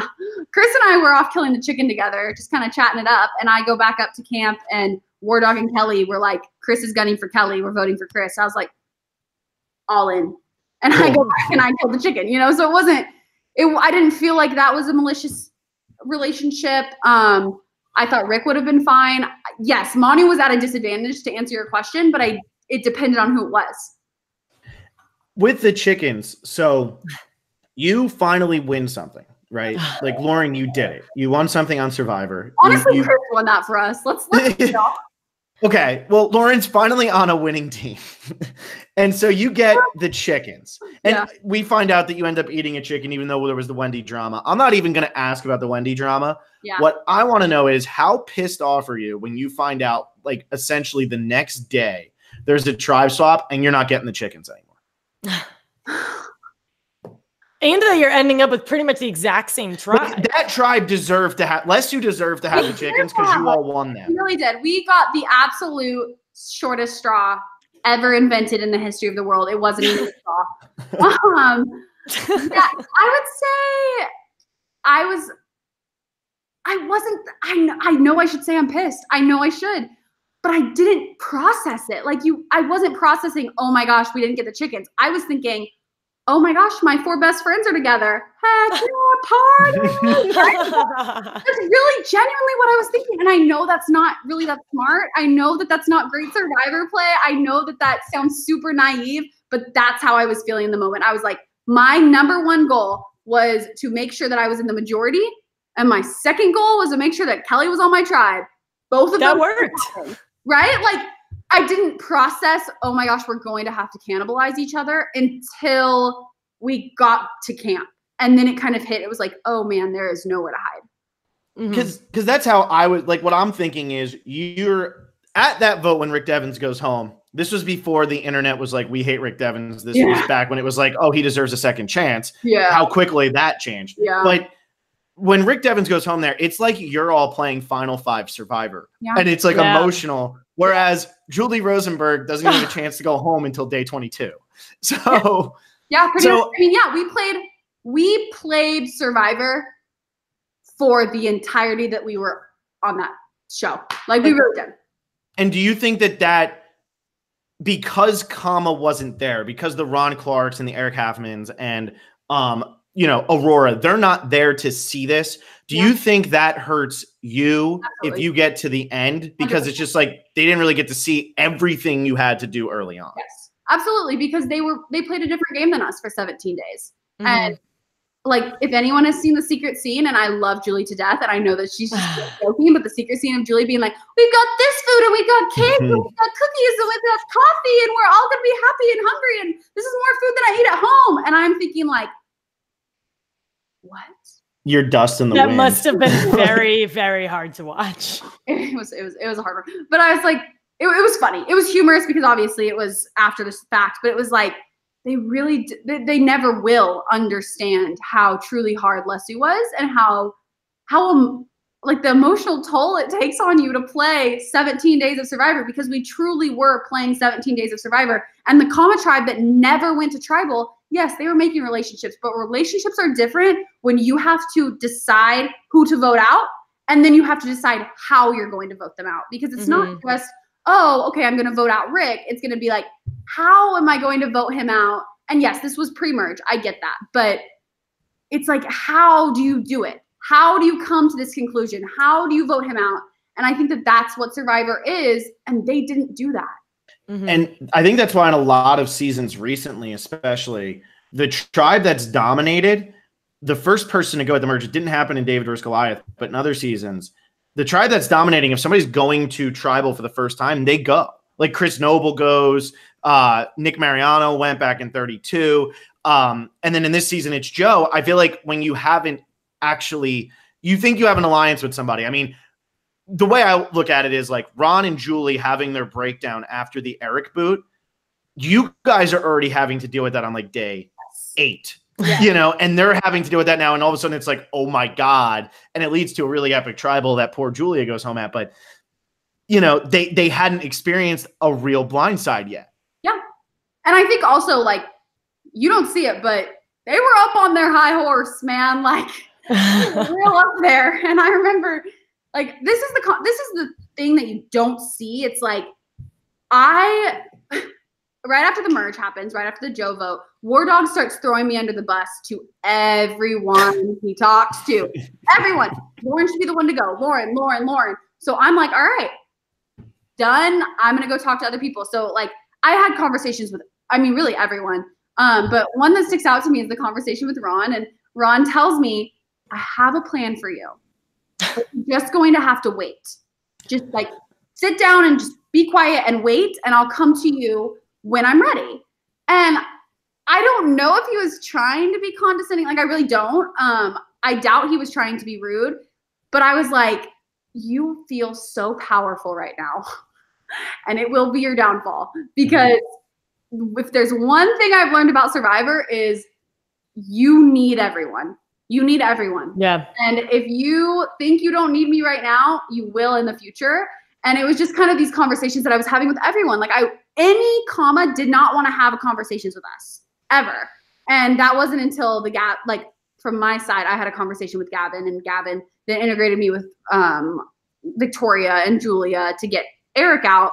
But before that, it was like, sit down and wait for your turn and we'll come get you when we need you. And I remember my confessional and being like, who does he think he is? me, freaking Godfather or something. Like it was just things like that where I was like, no wonder it hit him so hard because they really did think that they were just going to glide to the end without any upset. Hold yeah. that thought. I'm going to plug in my computer really fast. Okay, I'm just, it. I'm just gonna say the God the Godfather's in the chat, so oh, he's probably is. There's also I, I believe a fake Gavin. There's a fake Gavin in the chat as well, but but yeah. the Godfather's in there, so he's probably very happy that Lauren didn't actually call Ron the Godfather because then Godfather Carl 76 would have to change oh his name to something. Change the Twitter name. Does anybody else's computer just die so fast? Yeah, I have. Yeah, I have mine plugged in the entire time because oh, but like start to finish. Oh, odd. Okay. Um, is it what? Yeah, yeah, you, yeah. You, it's, it's like um. There we go. Yeah. Well, uh, when you're situated, we we we haven't talked to the tribal council at all. Let's talk about the live tribal, the, the Julia yeah. tribal council. Yes. Oh God! But I wanted to ask why you guys went for Eric instead of Ron. Oh, okay. I'll do. We can do both, but I just don't forget that. I need do to do Phil's first because that's more chronological. Yeah. So I would say, um, that was not my decision. Like I am fully aware of decisions I make and fully aware of decisions I did not make. And that was one of them. And it's because I didn't have any power. Like when I say I was going to everyone, just being like, hey guys, like I'm a vote. I'm a vote. I'm a vote. I'm a vote. I'm a vote. vote. Like anyone who needs me, I'm here. And it wasn't really until Gavin and I talked where he was like, hey, what do you think about this? And I'm like, great, let's do it. Whatever you want, I'm in. Um, and I know Kelley said something along the lines of like, I don't have a plan. What's your plan? You know, I don't, I can't have a plan. And it's so true. Like we, we had, we really had no power while still having a lot of power. Like we knew we had two idols. We knew that we weren't necessarily going to be the ones going home, but it was more about how can we make social relationships and not just play vote to vote. You know, it was like, I don't want to just play to get to tomorrow. I want to play to get three days from now and four days from now and five votes from now and set myself up in a way that is beneficial and not just, oh, here's my idol. I don't have to go home, you mm-hmm. know? So, yeah. I think it's probably because it was like three of you. It kind of reminded me of Tocantins where. Mm-hmm the three of you were being used to take out other people consistently yeah. and had wardog not gone and messed the whole thing up I really feel like Aurora goes home that night if Wardog doesn't say anything. Aurora goes home. You still have two idols and Wardog at final eight. I know. Like that's a lot of power for that for uh, a group of three. You know, yeah. in Survivor. Which yeah. yeah, I think that. Um. Yeah. I mean, Wardog and I have talked through this scenario so many times. Kelley and I have talked through it. I've thought about it. It's like if he doesn't vote Kelley and Aurora goes home, um, I really don't know where people stand. I know that Kelley and I still have idols. I know that there isn't an idol being replanted. Um, mm-hmm. I know that that changes the game a lot because that means Rick doesn't find it. Um, so on edge. It, yeah. uh-huh. so yeah, it, it, I mean, it completely changes the game, but every move changes the game. You know, if yeah. if Chris comes back before the merge, totally different game. If just there's so many what ifs and shoulda, coulda, wouldas that it's like I can't even sit down and process them all. Wardog for me. that he does trust me i think he has i think wardog has this spreadsheet if wardog ever plays survivor again he's going to be studying a spreadsheet the way david studied his book of puzzles uh, good so. luck to wardog because he is a mastermind y'all he is brilliant for, the, for someone who named you his day five ride or die he really threw you under the bus a couple times it was the die part I, it's the die you got the die part yeah. I really should get to the bottom of what our falling out is because he keeps bringing it up, and I'm like, what was this falling out? Like, I really don't know. If he's still in the chat, Wardog, let me know what this falling out was because I War mean, Dog, talk to us. obviously we did we did split like it became clear to me that he was closer with kelley um but that was fine with me because i knew that i was closer with kelley than kelley was with wardog and i was like okay well kelley's going to tell me everything that wardog's saying and as long as Ke- wardog is with kelley and kelley's with me then we're still a threesome you know Mhm. it's not it wasn't ever an issue to me and i never went into the merge with any animosity towards him. I was like, ride or die, Lesu three, man. Like I was going at it. I was full force. I wasn't taking either of them to the end with me, but I was like, I will get as far as I can with y'all in the smartest way possible. And so this falling out is always interesting for me to hear. He didn't say anything. no, didn't he say anything. conveniently has disappeared. Conven- now he's studying. Now he's, back. studying. yeah, Yeah, he's studying for the studying for the bar, quote unquote. Okay, let's then let's let's hear this live tribal then, Lauren, because going into it, who did you think was going home? Oh God. Um, I knew something was up. Like literally, what you saw on screen is exactly how it felt at camp. It was so off. I love Gavin to death, but that boy, you can read like a book. You can read like a book, which is why I knew something was up going into the tribal where I got voted out. But that's further along. Um, read him like a book. He can't look you in the eye. Victoria doesn't want to talk to you. Aurora pretending to sleep. Like there's just so many tells. I'm like, something's wrong. Something's wrong. It's not David. You know, there's, we don't know something. But again, it's like I had an idol. So I was like, okay, it's not to be me. If anything happens, it's probably to be Kelley. And if Kelley plays her idol, I had to do the math in my head of like, okay, who do I know is voting for David?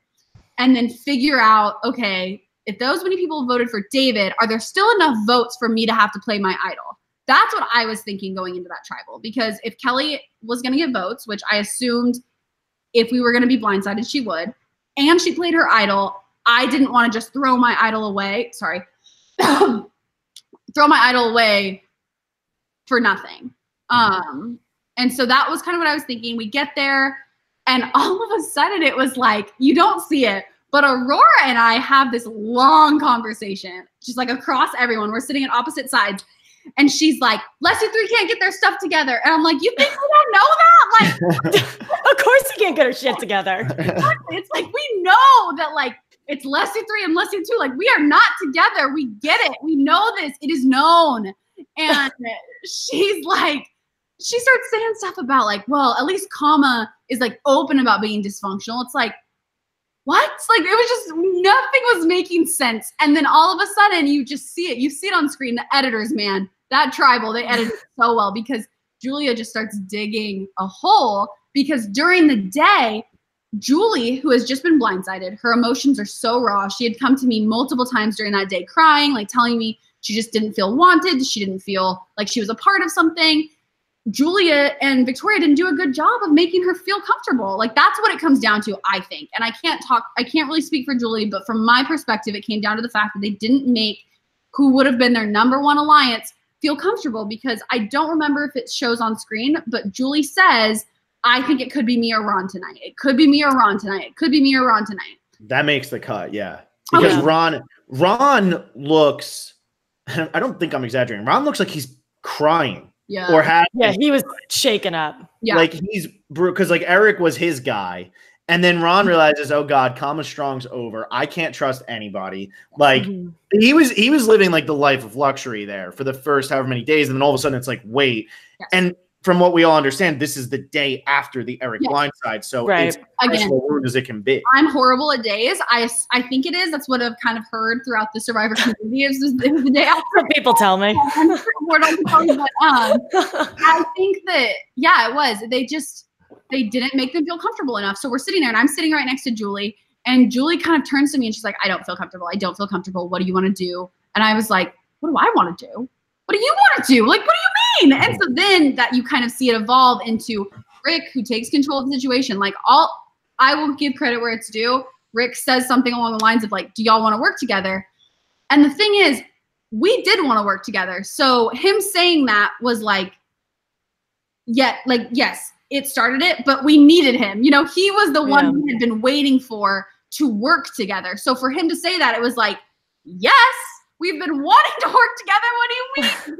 and so then, you know, everyone starts getting up and we're jumping everywhere. And Wardog and I are talking. He's like, who do you want? And I said, I want Victoria because I never trusted her. I thought she was way too smart um, for anyone's good. And he says, well, who do you want, Julie? And Julie says, I think she said Julia. And Wardog goes, Julia. And I could be getting this sequence of events wrong, but that's how it came from my perspective. Um, and then Kelley's talking, and then I'm pretty sure Rick goes to Kelley and says, I have an idol, I'll play it tonight so you can trust me, which is why he ends up playing it for David, which is what I heard. I, d- I don't know if that's correct or not, but that's what Kelley told me. And It's so- Yep. uh, that's cool to like hear you clear that up though. I forgot to ask Kelley that, and I wish I would have on the last podcast because I was wondering. Like David's played before, he knows he's not going home at that point. right. Yeah. Like he just knows he's not going home. So like, what's the point of that Yeah. idol being played? Yeah, But so I guess what- it.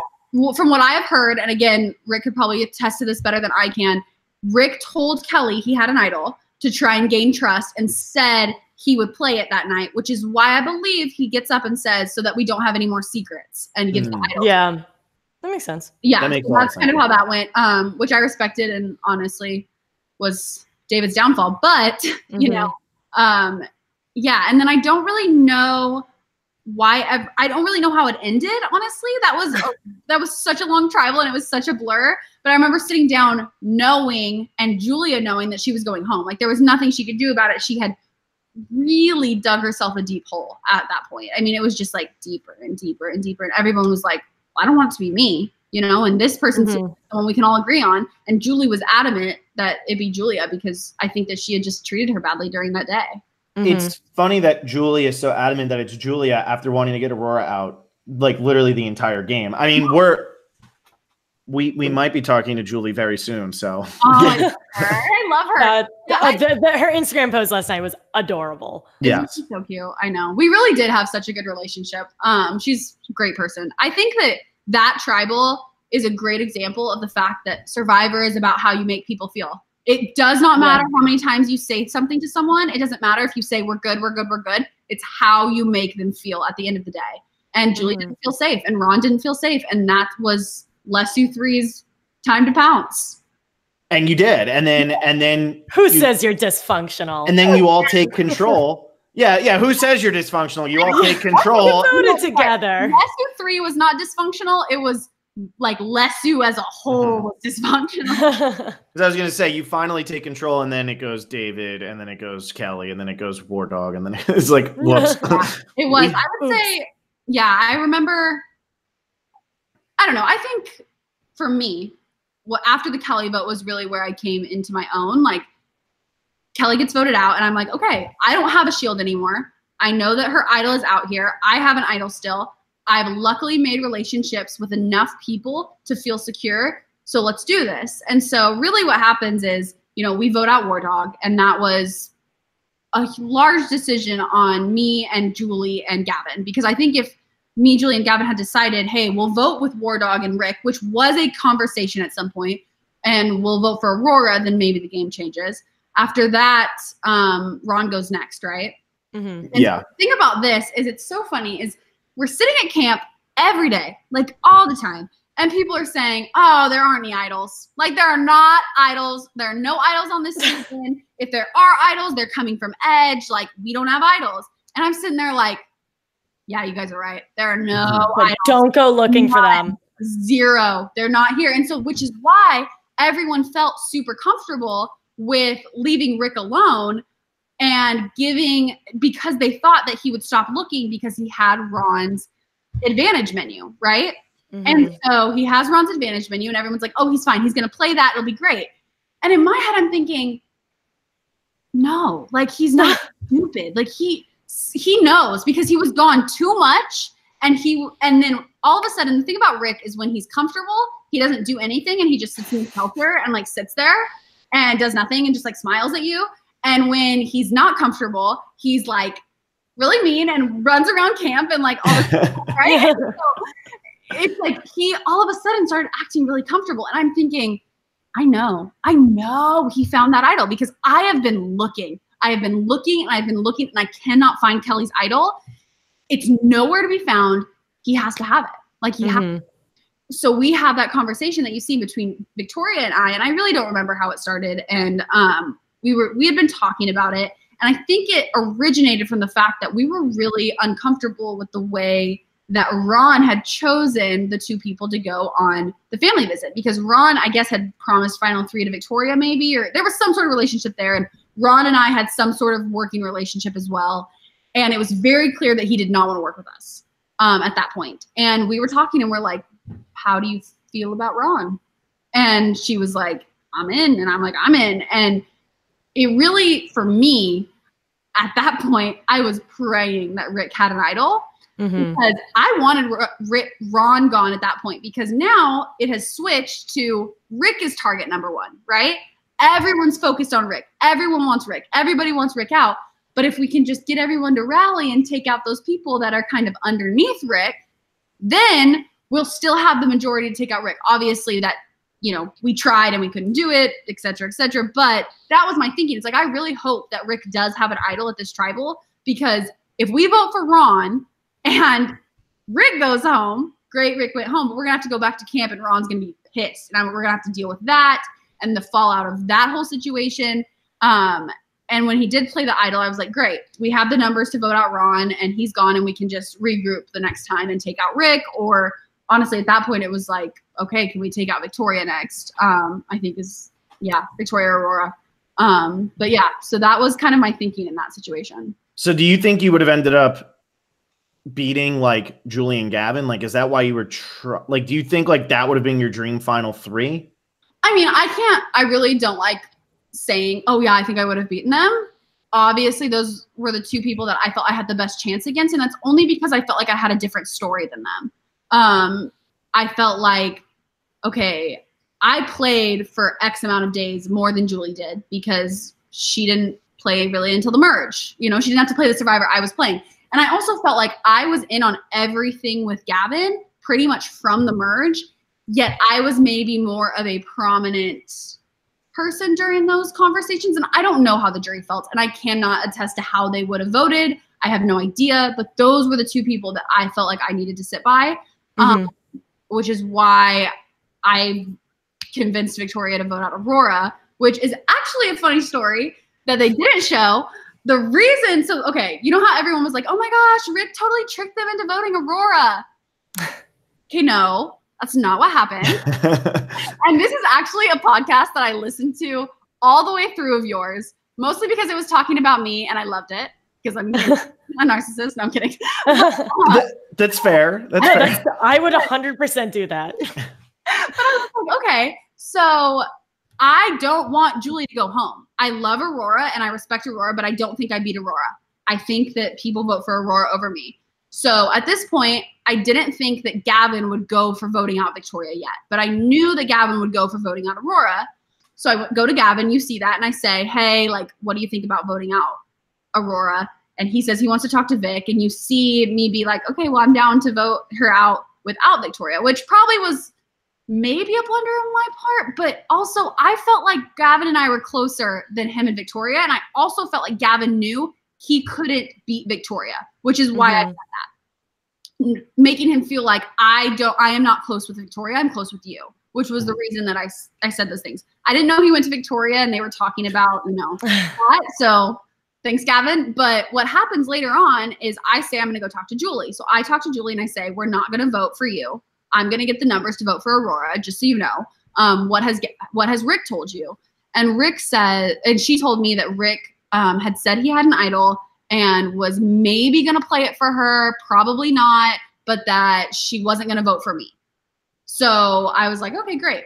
That's all I knew. So I decided to go talk to Gavin and Victoria, and I say, Hey, Vic, um, I just talked to Julie, and she told me that Rick's idol is real. He's planning to play it for her, and they're going to vote for you. So if you're willing to bet your entire game on the fact that Rick doesn't play his idol for Julie, totally down. It's not my name on the block. But if you aren't, then we should probably vote Aurora. And she says, Great, let's vote Aurora. And then you see trouble. What was, what was our take? I don't remember our take. I was trying I to think. We defend. I feel like we defended you and said you that did. you weren't tricked, right? Yeah, you did. Yeah. Okay. Good. I just wanted to make. Yeah, you, did. you were on, you guys were on my side. You said that that it was already planned and that it kind of felt like people were like revolving around me in a way. Like I had relationships with everybody, which is I think this is when you said that you thought that I was going to win because they had shown my relationship with everyone. That We was did it, Phil. that was me. Yeah. I well, I mean, that was like in between the if Victoria doesn't win, it must be Lauren, right? Yeah, no, absolutely, absolutely. I, I think that's that was the point where I said, well, it's either Victoria or it's my day one winner pick, Lauren. So I don't care anymore. And we'll talk about final six in a second. But so yeah, so that's how that Aurora vote went down. Um, and obviously, like, here's the thing: if I was sitting at home watching Survivor, I would think that Rick did that as well. You know, like Mhm. you, I, I try to watch it as objectively as possible, which is like totally not possible at all. But I think, yeah, if I'm watching this this version, I think that Rick did that, and that's a great play, and he deserves the credit. It's not necessarily what happened, you know, and maybe I think maybe in retrospect I could have been better at playing things up to the jury. But my plan was okay. Worst case scenario, I sit by Rick at the end. I lose. I know this, I lose. But my thought process was okay, I tell them this is what happened, this is what happened. Rick was on the wrong side of every vote on this time and this time and this time. And this is what I was doing during these votes. And whether that works or not, who knows? Um, but that was kind of my plan. It's like, I'll let him do the theatrics and be wrong every time. And I'll sit here and I'll be right every time. And hopefully that means more to the jury than standing up and playing an idol.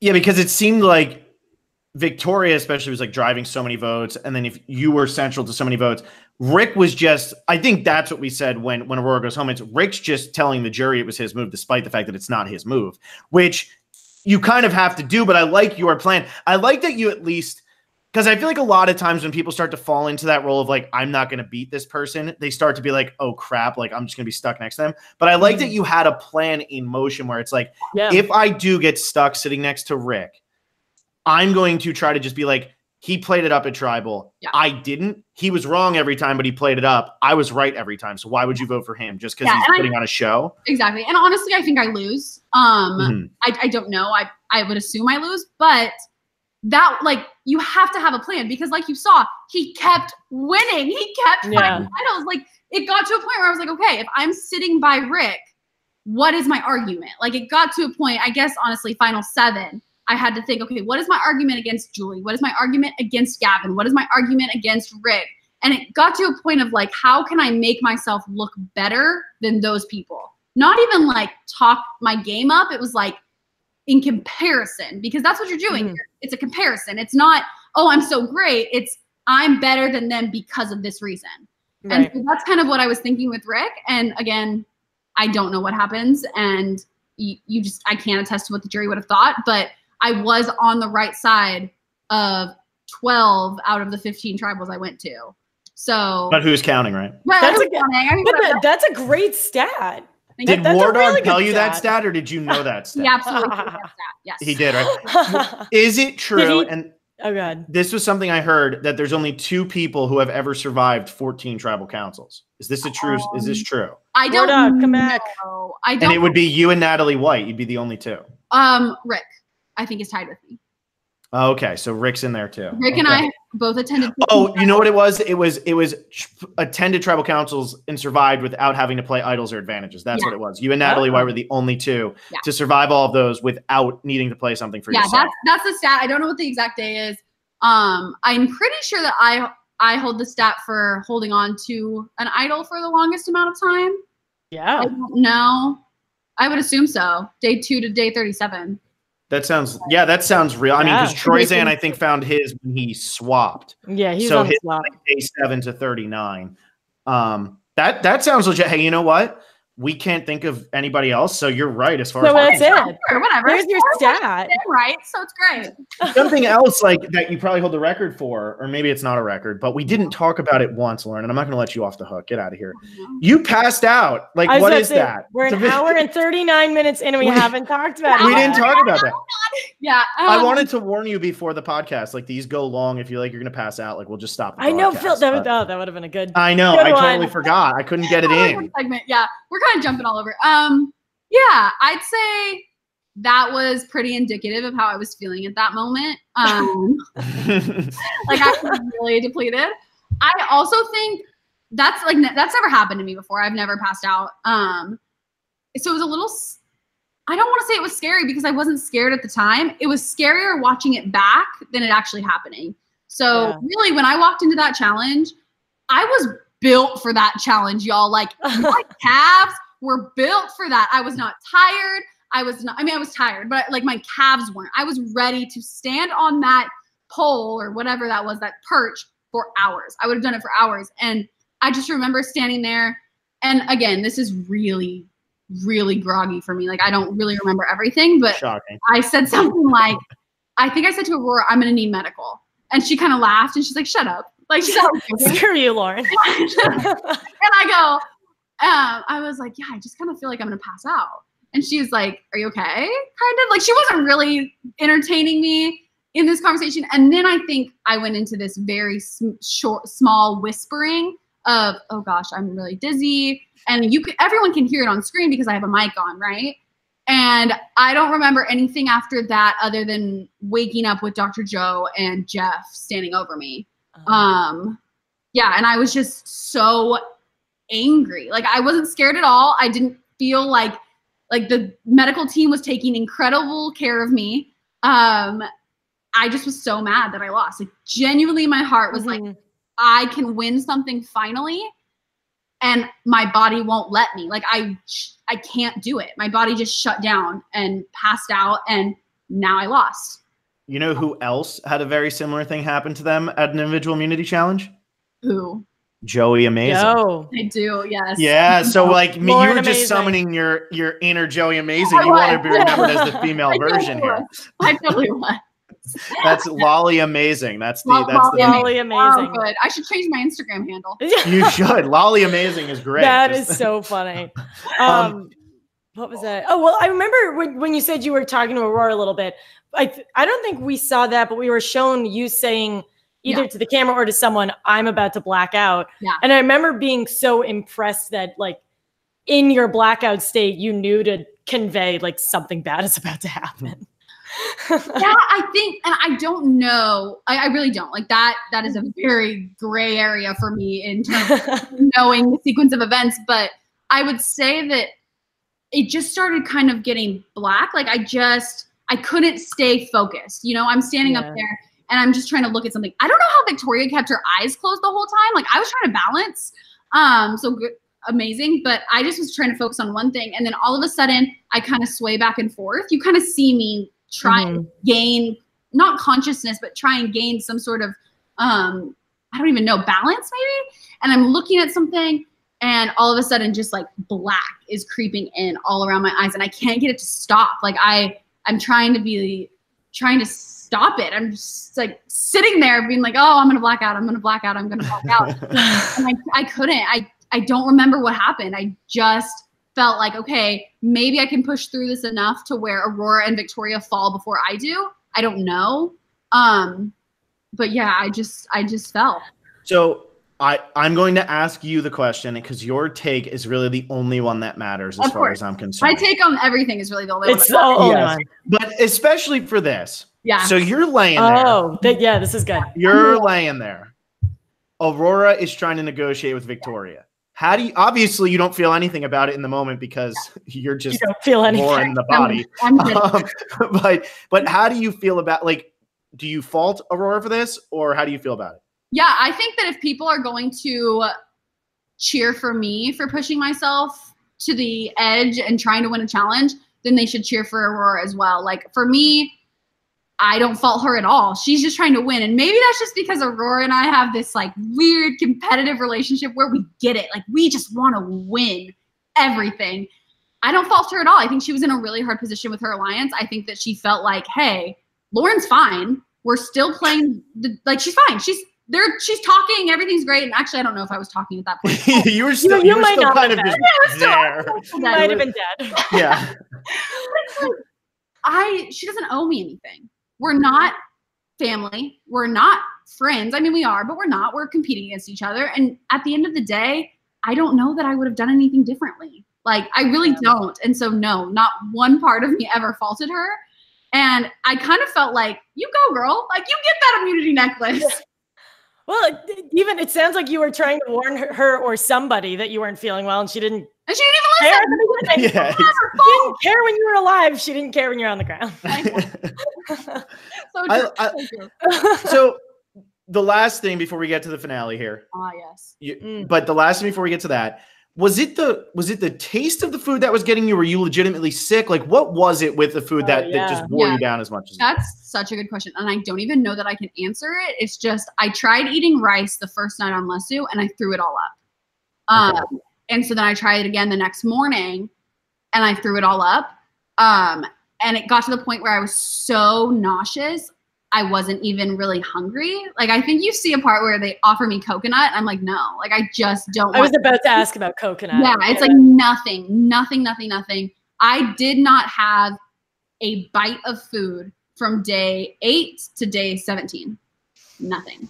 Um, wow. I just drank water. Um, and it was because I just, my stomach couldn't handle it. I don't know what it is. Um, I just, felt like if I eat something, if I try to even eat the rice, I'm going to throw it up. I'm so nauseous that I don't want the rice. So why even expend the energy of throwing up? Because I'm not going to get any of the calories anyways. I'm just spending more energy. I might right. as well sit here and be sick. I was genuinely wasting away. Alexa, we're, we're asking the same question. Um, Go ahead. So in the second half, do you think like there were more food. I don't know if there were more food options. Well, like what brought I, you back? I, I definitely was able to eat a lot after the merge. Like I, think, I really think that I probably lost like 20 pounds before the merge. And then I put on like eight, right? Like I don't know.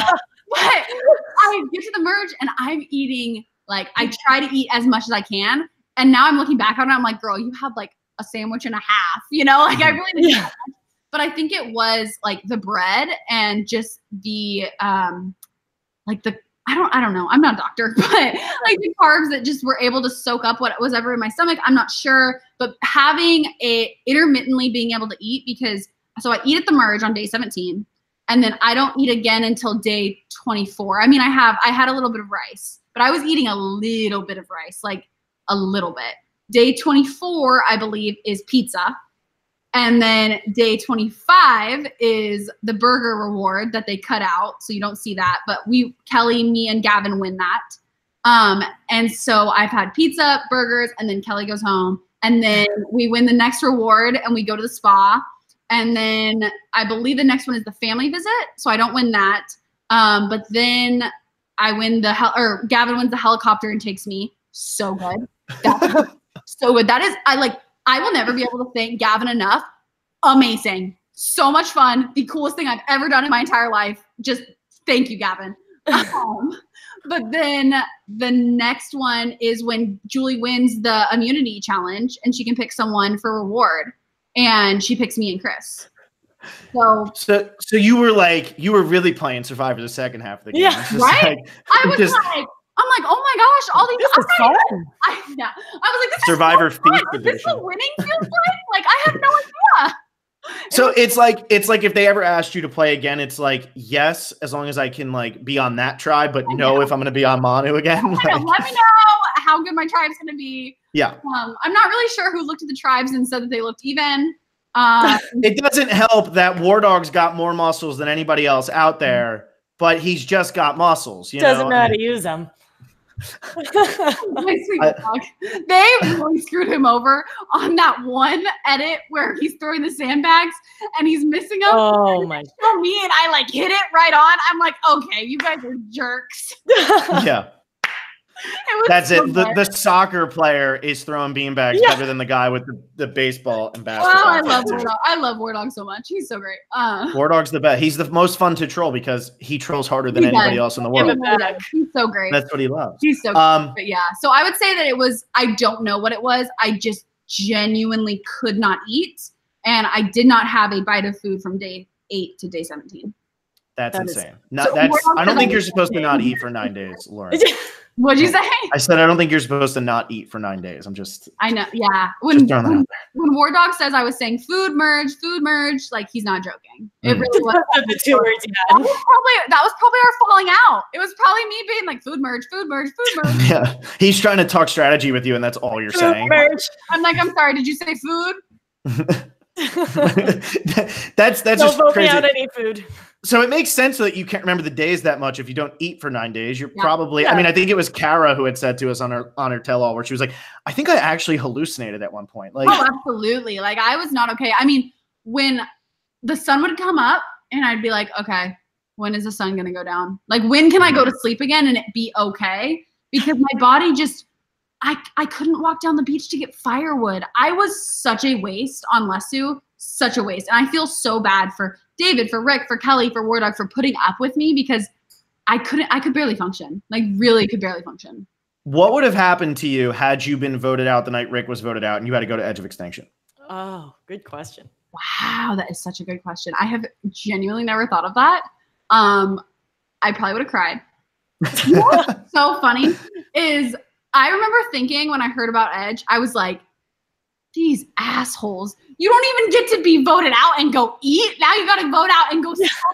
Like, yeah. you can't say no. You cannot say no. You no. have to go. You know, and you can't quit while you're out there. So yeah, I don't know. I really try not to think about that. I'm just very thankful that I did not get voted yeah. out. Um, but yeah, because I, I, know you wouldn't have I was wanted to quit, but, but I almost feel like I could have seen you being like medevac at some point if you really weren't eating, and then you're going there, and if you can't eat, like I could see it being like, "All right, Lauren, like we're dragging you off the beach now." Yeah. like pull me into the ocean. Yeah, yeah, exactly. The good thing about it is he float away. yeah, they only had 17 people on you the take the sail and just like put your corpse on the sail and, like swing out. Exactly, it's like a pirate warning, you know. Yeah. Like- it was it was so bad. It was so bad. I don't know. That would have been really scary, honestly, to have to go there. Um, I assume at some point I would have been able to start eating the rice. I don't know because I don't know what it was that triggered it. And I don't know what it was that stopped it other than I got to eat some bread. Mm-hmm. Yeah. Yeah. So, yeah. And there was no bread over on Edge. So, yeah. No, they just had squids and sh- fishing gear. Yeah. Yeah. Fishing oh, gear. and that, that, uh, where did that, that come from? that they, that they killed and it just like sat there and tried yeah, to, right? I was like, Chris, where was this, uh, fishing, fishing yeah. from day one yeah. to eight? Yeah. How come we didn't get fishing gear? Huh? Yeah. Don't me start. Uh, yeah. No, I won't. I won't. I almost asked Kelley a question the other day, and she was just like, "You saw it." I mean, she almost drying it down. Yeah, she almost jumped out of the chair. Um. Well, Lauren, I know you're gonna find this hard to believe, but we're in an hour and 52 minutes, so I feel like this is a good time. Yeah, I know. That's at the finale yet. Wow. We haven't even gotten to the finale yet, but I want to start off. Talk, man. I want to start off the finale with this. Okay? okay. Can't wait. So I meet I meet Lauren on Tuesday night and she's got her whole crew with her.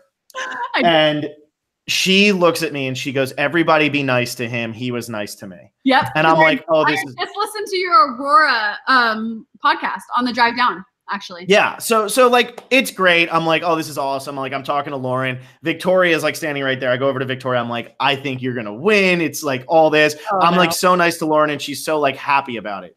And then I watch the finale, and final six happens. And I'm like, how am I going to be nice to Lauren tonight? She just took out Victoria and herself at the exact same time. And I'm walking around the bar on the Tuesday night acting like it's either Victoria or Lauren. And like, I know what I'm talking about because it's Survivor. Oh my God. Yeah. The amount so, of people that came up to me at that pre party that said, and maybe they're just being nice, I don't know, but they said, we think you're going to win. Like we really think we think you're going to win. And I think I had probably just talked to them and said Lauren's going to win. Probably. And I think that was kind of the consensus is people thought either Rick or I were maybe going to win at that point. Mm-hmm. Um and I remember thinking, "Oh my gosh, I hope so too." Like I said oh. many times, I was like, "Me too." And people were like, "I can't wait to see how you play your idol." I'm like, "Me too." thinking, "Oh my gosh, you guys are in for the worst." Surprise. Yeah. and on, on Wednesday, I didn't even think Lauren was going to be there. And I just found her like in the barn. I just walked by and I just stared at her. And all she said was, I was, you know what? I was, she was at a party. All she said, yes, you were surrounded by like 900 people. And all you said was, we'll talk. I'm sorry, Phil. We'll talk. I said, we'll talk. I'm sorry. that was it. That was it. And I was like, you know what? That's enough. But like, I had to, I was like, how am I going to be nice to her tomorrow on the finale recap? Because you just, but but it was it was one fell swoop. there goes me. Everybody everybody's cheering during the finale, and I'm sitting there and I'm like, oh my god! You would have thought that I was either related to you or related to Victoria with how angry I was at that final six tribal council. I was like losing yeah. my mind. Everybody else so excited, like it's this blind side. You actually played the idol. Victoria goes home. It's this crazy thing. It's really emotional, and I'm just like. Oh man. Yeah. There goes there it goes. But Lauren, tell us what's tell us what was going on at Final Six. Okay. Come here. So pretty much I we're going to get our person from Edge, and I called it our um our puppy. We're gonna go pick up our puppy that nobody really wants, but we have to go pick up. that is so good. And I'm like, okay, let's go to the pound, pick up our pick up our puppy. There anywhere? Pick up uh, Chris, and we come back, and you see Chris. He's like, I don't really care. Like, I just I just want to make it to like tomorrow. You know, like I'm just thankful to be back in the game. And I immediately am like, this is BS. Like, you're a liar. You're a liar. I know you. And there's no way that you're sitting here being like, I just want to make it, you know? Just but, happy to be here. Right. So I'm thinking, I have two thoughts during this process. And I think you hear me say it when I talk about Ryan Reynolds, but I'm hmm. like, oh, yes. There's no way that's that the jury's going to vote for someone that played 12 days because Gavin and I had had this conversation and Julie and I had had this conversation as well. Where is the cutoff? Where's the cutoff of when the edge person becomes an actual threat? Is it the merge? Is it Kelley? Is it day two? Like we we didn't really come up with a conclusion, but I came to a personal conclusion of anyone pre-merge is not a threat in my book. They haven't mm-hmm. done anything. I've been I've now played. I mean, at that point, I had then played. I mean, total, I've played what Chris played less than a third of the amount of days that I played in my head. You know, he obviously played on Edge, but typical Survivor, I played three times as many days as Chris, right? And so I thought, not a threat. He's like, there's no way because I didn't know what was going on at Edge. I didn't know that they were strategizing. I didn't know that they were becoming friends. Like this is beyond me. And to in my perspective, they were out of the game. So that's thought number one. Thought number two is no way Chris wants to sit by Rick because he knows Rick is gonna win. And no way Rick wants to sit by Chris because they kind of have the same story. Mm-hmm. And he and I assumed that he knew that Rick's not making it out of Final Four without having to go to fire unless he wins immunity. And if Chris is still sitting there, Chris is going to be the one that takes him to fire. Whether or not Chris wins immunity or not, Chris will take Rick to fire and everyone will make sure that happens, right? So mm-hmm. those are my two main thoughts. So we go into the immunity challenge and Julie wins immunity.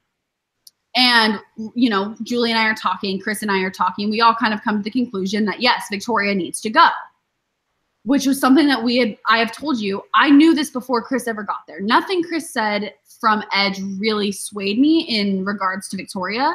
Um, so I know that Chris is going to be voting for Victoria. So I know that's one vote on Victoria.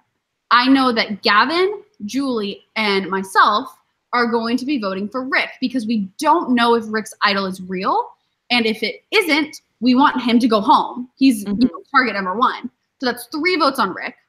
And I assume that there's no chance that Rick is stupid enough to not vote for Chris. There's just mm-hmm. no way. And I didn't know. I didn't know that they had formed a relationship on Edge. I didn't know that they were working together. So I am going into tribal thinking, okay, Victoria has now told Gavin that she's going to vote for Chris. Gavin has told me this. So I know that Chris, or I think Chris is going to get two votes, and Victoria is going to get one vote, and Rick is going to get three votes. Mm-hmm. So Rick plays his idol and it's real. I want Victoria to go home, and I want to be the one that sent her. So mm. I have to play my idol for Chris, which is why I did what I did, not knowing that Chris had an idol at five not knowing that he was working with Rick and not knowing that Rick voted for Victoria. You know? Yeah. yeah. I, just, I didn't have enough information.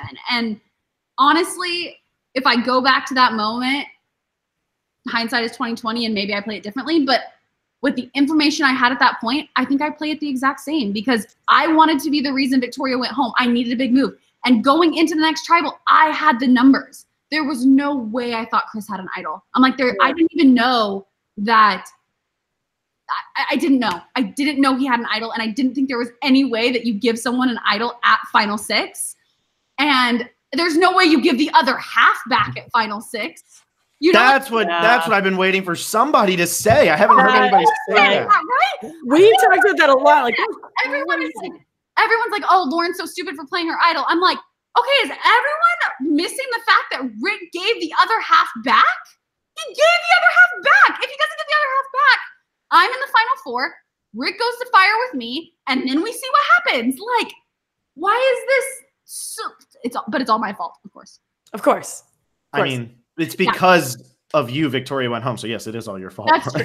Well, it's really not because of me that Victoria went home because Chris only had one vote and Victoria had two from Chris and Rick. True. That's yeah. true. Oh. And just finish I just need to blame somebody for Victoria. Okay, I just you, should, you should blame Rick or Chris. Okay. Not yeah. Me.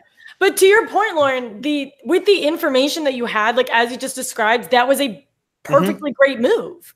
Like it, that, that was the you you do it again every time. I would honestly, and I I know that it, it looks bad on TV. It and the thing is, it looks bad on TV because Chris won, so yeah. they have to make it look like Chris like bamboozled me and you know made all these moves. If I win, I look brilliant, right? Yeah. It's like that's just yeah. that's how it is. And Chris played an amazing game with the how five, four days he was in. I don't know what day did he come in. It was three days. Okay, so however many days he was there, he played an incredible game, and obviously that warranted a lot of people's votes. But I didn't, I didn't know. I didn't have the information. I was playing on the information I had prior, thinking that I was going to have the numbers going into the next tribal. So if this didn't work out, which it didn't, okay, that's fine. I have Gavin and Julie they'll vote for Chris with me. You know, I mm-hmm. I didn't I didn't know that there were going to be three people immune at the next tribal. Because because there's no way. I mean, and you've kind of said this, but I just really want to hit it over the head. Like you're sitting there, Chris comes back, and it's like that's your reward. Like you're back in the game. Yes, absolutely. I thought yeah. there's no chance that someone is given an idol at six. There's there's just no chance, and there's absolutely no chance someone gives them the other half because again, you guys are watching it and you're like, well, of course, like Rick went in with an idol. Like, I guess Chris has one.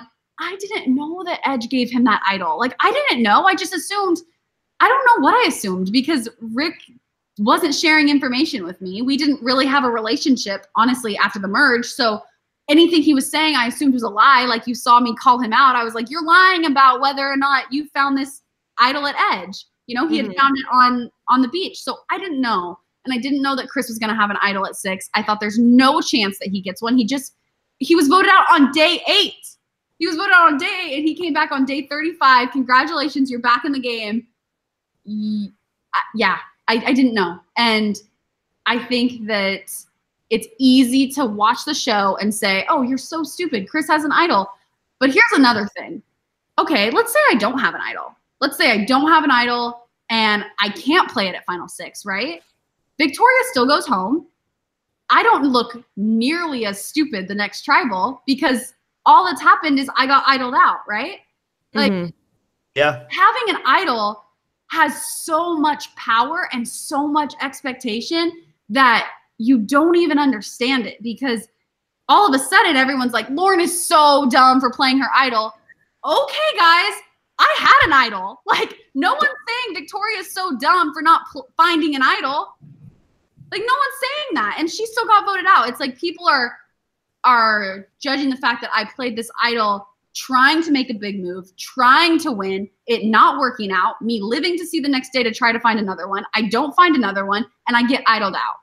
You know, it's not because I played my idol that I was voted out. Yes, if I keep my idol, I'm still in, but not hmm. everybody has an idol. Not everybody has an idol.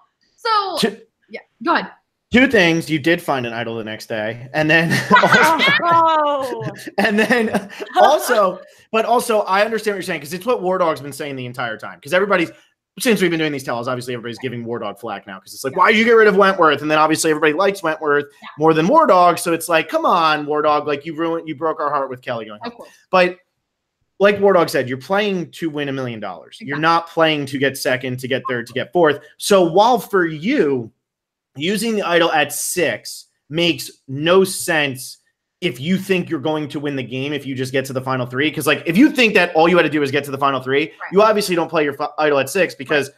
you played at final five. You're guaranteed to at least be making fire. Mm-hmm. Worst case scenario, go practice making right. fire. But if you don't think you can win, exactly. you have to play that idol because it's really the only chance you have to show people like I deserve to win against anybody. Exactly. So I, didn't I think I didn't think that I could win, honestly, sitting at the end. I wasn't sure. I wanted to solidify it. I was playing to win at that point. And let's just say I don't play it, right? Victoria mm-hmm. still goes home. So I have it. Now the question becomes is there an idol rehidden, right? Like, do, do we rehead an idol because now an idol has been played um, from Rick? And if we do, does Chris still have an idol? You know, like I don't I don't know. And if he does, then all of a sudden Julie's going home and my idol means nothing. And I am now in the final four with Gavin, Rick, and Chris. And I have no moves left in my belt. I have nothing other than to beat Rick and Fire. But Chris will probably beat Rick and Fire in a bet like faster than I can and probably more significantly than I can. So at that point, it was like I had no moves left. I had no cards left to play. This was my biggest card, and I was going all in, trying to win. Yeah, yeah, that makes sense because otherwise you're sitting in like the third position. Like you're going to get third place and exactly. zero votes. One maybe Kelley votes for you. I mean, yeah. you would hope, but um, you would hope. I mean, Kelley, where you at? Um, but yeah, no, that makes sense. And and you're always like you said, you're always gonna get shit for yeah. playing an idol wrong. You're always. I mean, JT yeah. gets so much crap for his for his thing in Heroes versus Villains and his thing in Game Changers, but he's playing to win the game, and he played a perfect game the first time, and all he wants to do is play another one. And you know what? I am one of the people that has given him so much flack for that. I'm like, are you kidding me? You gave an idol to Russell, but now playing the game, I'm like, if that had worked, that's brilliant. It's brilliant. Exactly. It's so smart. And that's the thing is you just didn't have all the information. So the viewer, like you look stupid, but if you were right, you look brilliant. So it's just like you just yeah. don't know. You don't know. You it, play with the information and, and you hope it works. And out. like with you too, like if that move works, then yeah. you look incredible. Yeah, exactly. And instead, yeah, the internet and, the internet. and you know what doesn't help though, Lauren, okay. is the fact that the next day I find the you, fake idol. You find the fake idol, and also when you get voted out, the opening of your Ponderosa is "I'm so stupid."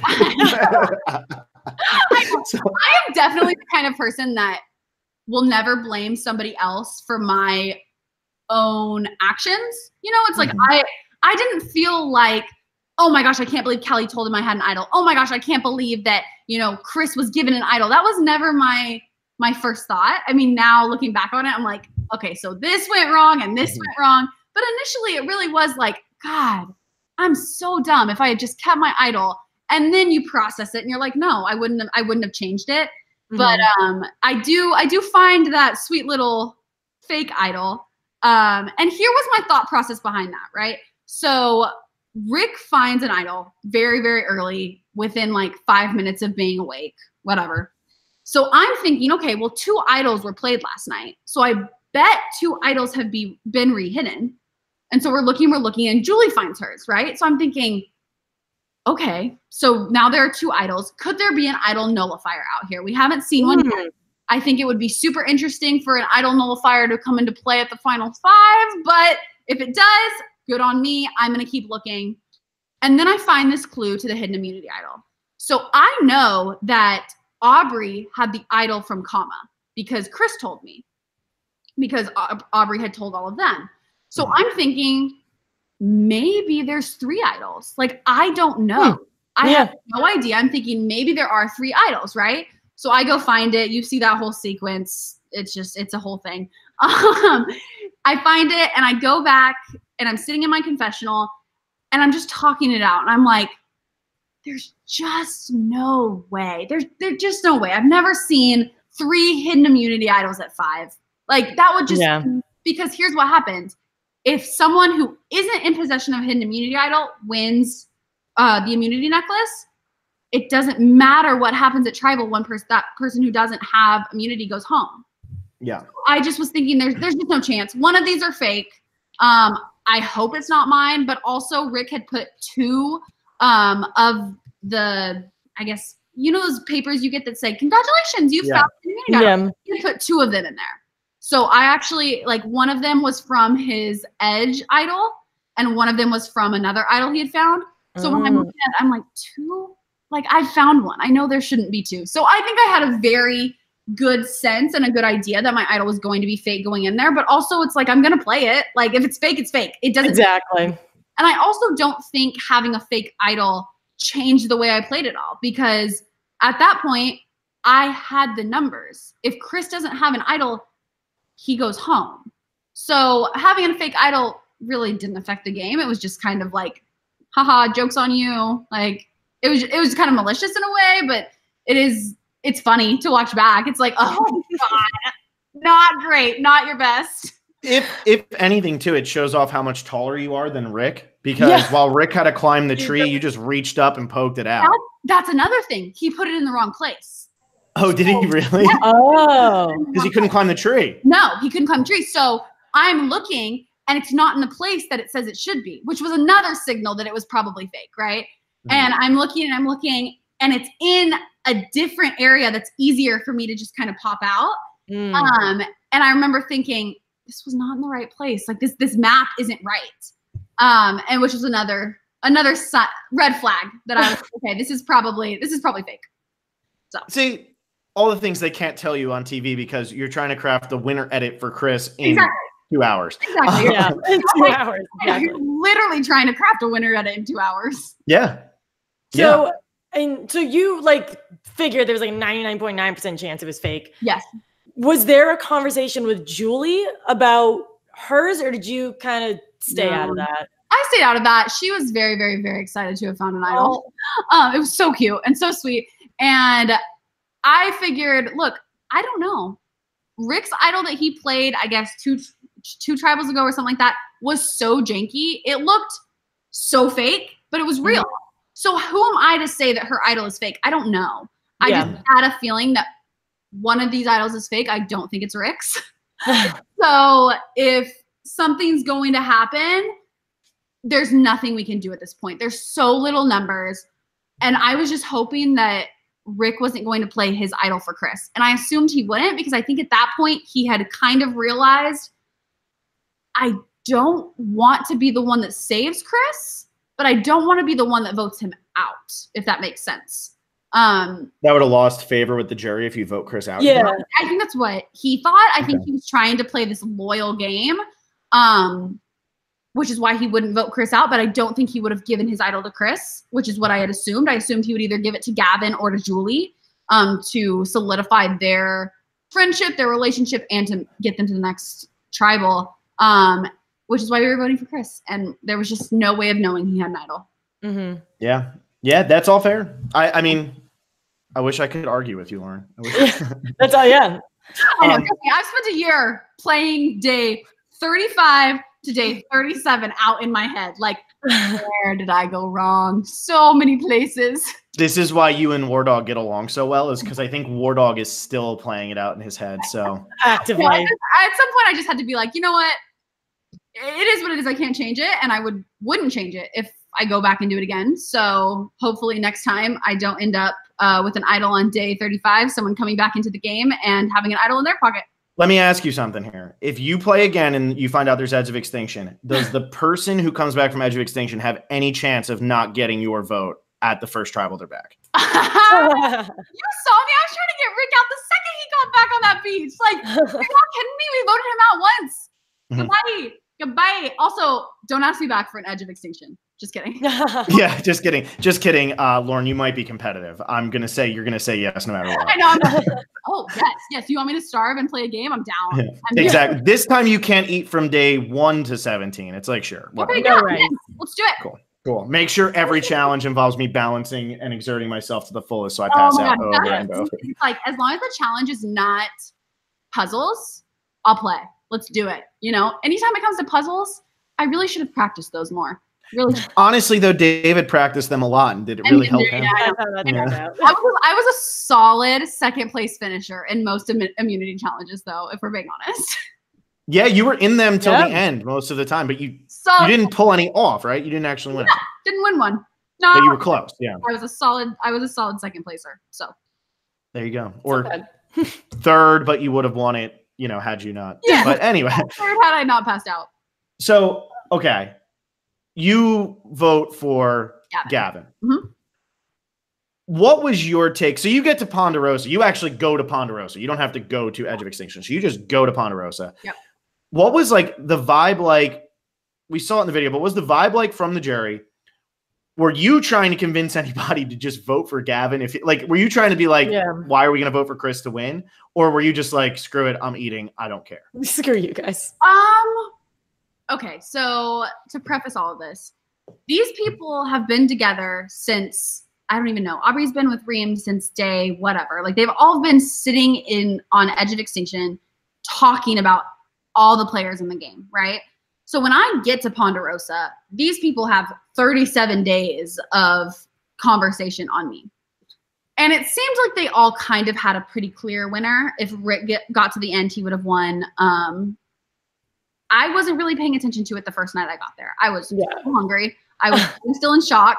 Um, but the next day, people were actually making pros and cons lists of Chris versus Gavin. Um, Really? yeah, I was I was not personally a part of that. Um, but yeah, there were pros and cons lists and lots of talking. And another thing is, is I don't feel like it's my place to ever um, try and argue with someone on who they're going to vote. I'm not going to try to convince you to vote for who I want you to vote for. Your vote is completely your own. You are you can vote for whoever you want. You can vote for the person you like the best, and maybe they didn't play the game at all, or maybe you just like the way Julie's hair looks at Final Tribal. Like you are on the jury, you've played this amount of times, you get to vote for whoever the hell you want to vote for. And I'm never going to sit here and argue with you as to why you should vote for somebody else, right? Mhm. So that was kind of my take. And I think that that was Kelley and Aubrey's take as well. It was like they aren't going to sit here and tell you that you're wrong. They're not going to rally for anyone at Ponderosa. Um, and I just felt like that wasn't really my place. So that was how Ponderosa went for me. I was just kind of there to have a good time, right? By the time I got there, it was it was um, fire making, and so there was that whole Yeah. and then then it's day 39 and everyone's like, "Oh gosh, we're leaving tomorrow. Like there's final tribal tonight. Everybody's voting." And I'm like, "Can I get another round of ice cream, please?" Yeah. Oh, yes.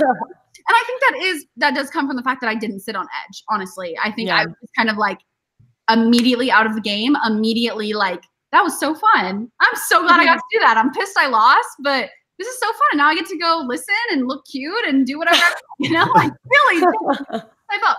So we get to final tribal, and I think a lot of people went into that tribal knowing who they were going to vote for, yeah. but wanting, but wanting to act like they didn't. And I'm not going to say that I wasn't one of them because I don't think I think there was a very very small chance that I ever voted for Chris, solely because the game he played, I never saw.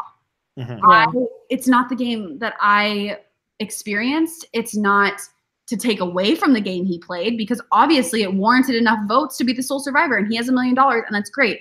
But Mhm. I saw Gavin's game and I know how hard it is to get to day 37, to get to day 38, to get to day 39, voting out people and then having to turn around and ask them for their vote. And I didn't feel like Chris had done that. I didn't feel like he had to deal with the social hierarchy and the paranoia and the constant day to day battle of trying to stay in the game. It was just more of a relationship on edge from what I've heard. Right. I It's a lot, Mhm. and it feels a lot easier to build a relationship when there's no. Th- I mean, when there's no threat. when there's no threat. We can be anyone else. friends. Like, hanging but out. yeah, if I'm on an island, I'm not going to be as nice to you as I am right now. If we're playing a game for a million dollars, and I thought Rick actually had a great point at that final trial where he was just like, "How many votes? Who who here has gotten zero votes this whole Yes. game?" And it was Yeah. just Gavin. And it's like, even if even if you're viewing Gavin as a goat, air quotes, Mhm. um, it's like he got no votes the entire game. Yep. And he was on the right Right. side of a lot Yep. of votes. No, absolutely. I, I I say this in a lot of my um like exit interviews. There are a lot of reasons I voted for Gavin, but one of them is he got no votes. And we all sit here and we want to reward, you know, Kelley made it this far with this many votes against her, always a target. And oh, you know, all these people get this X amount of days in and they're a target every day and they get all these votes and they still make it past tribal. okay, the point of Survivor is to not get voted out. And in order to not get voted out, you can't get votes.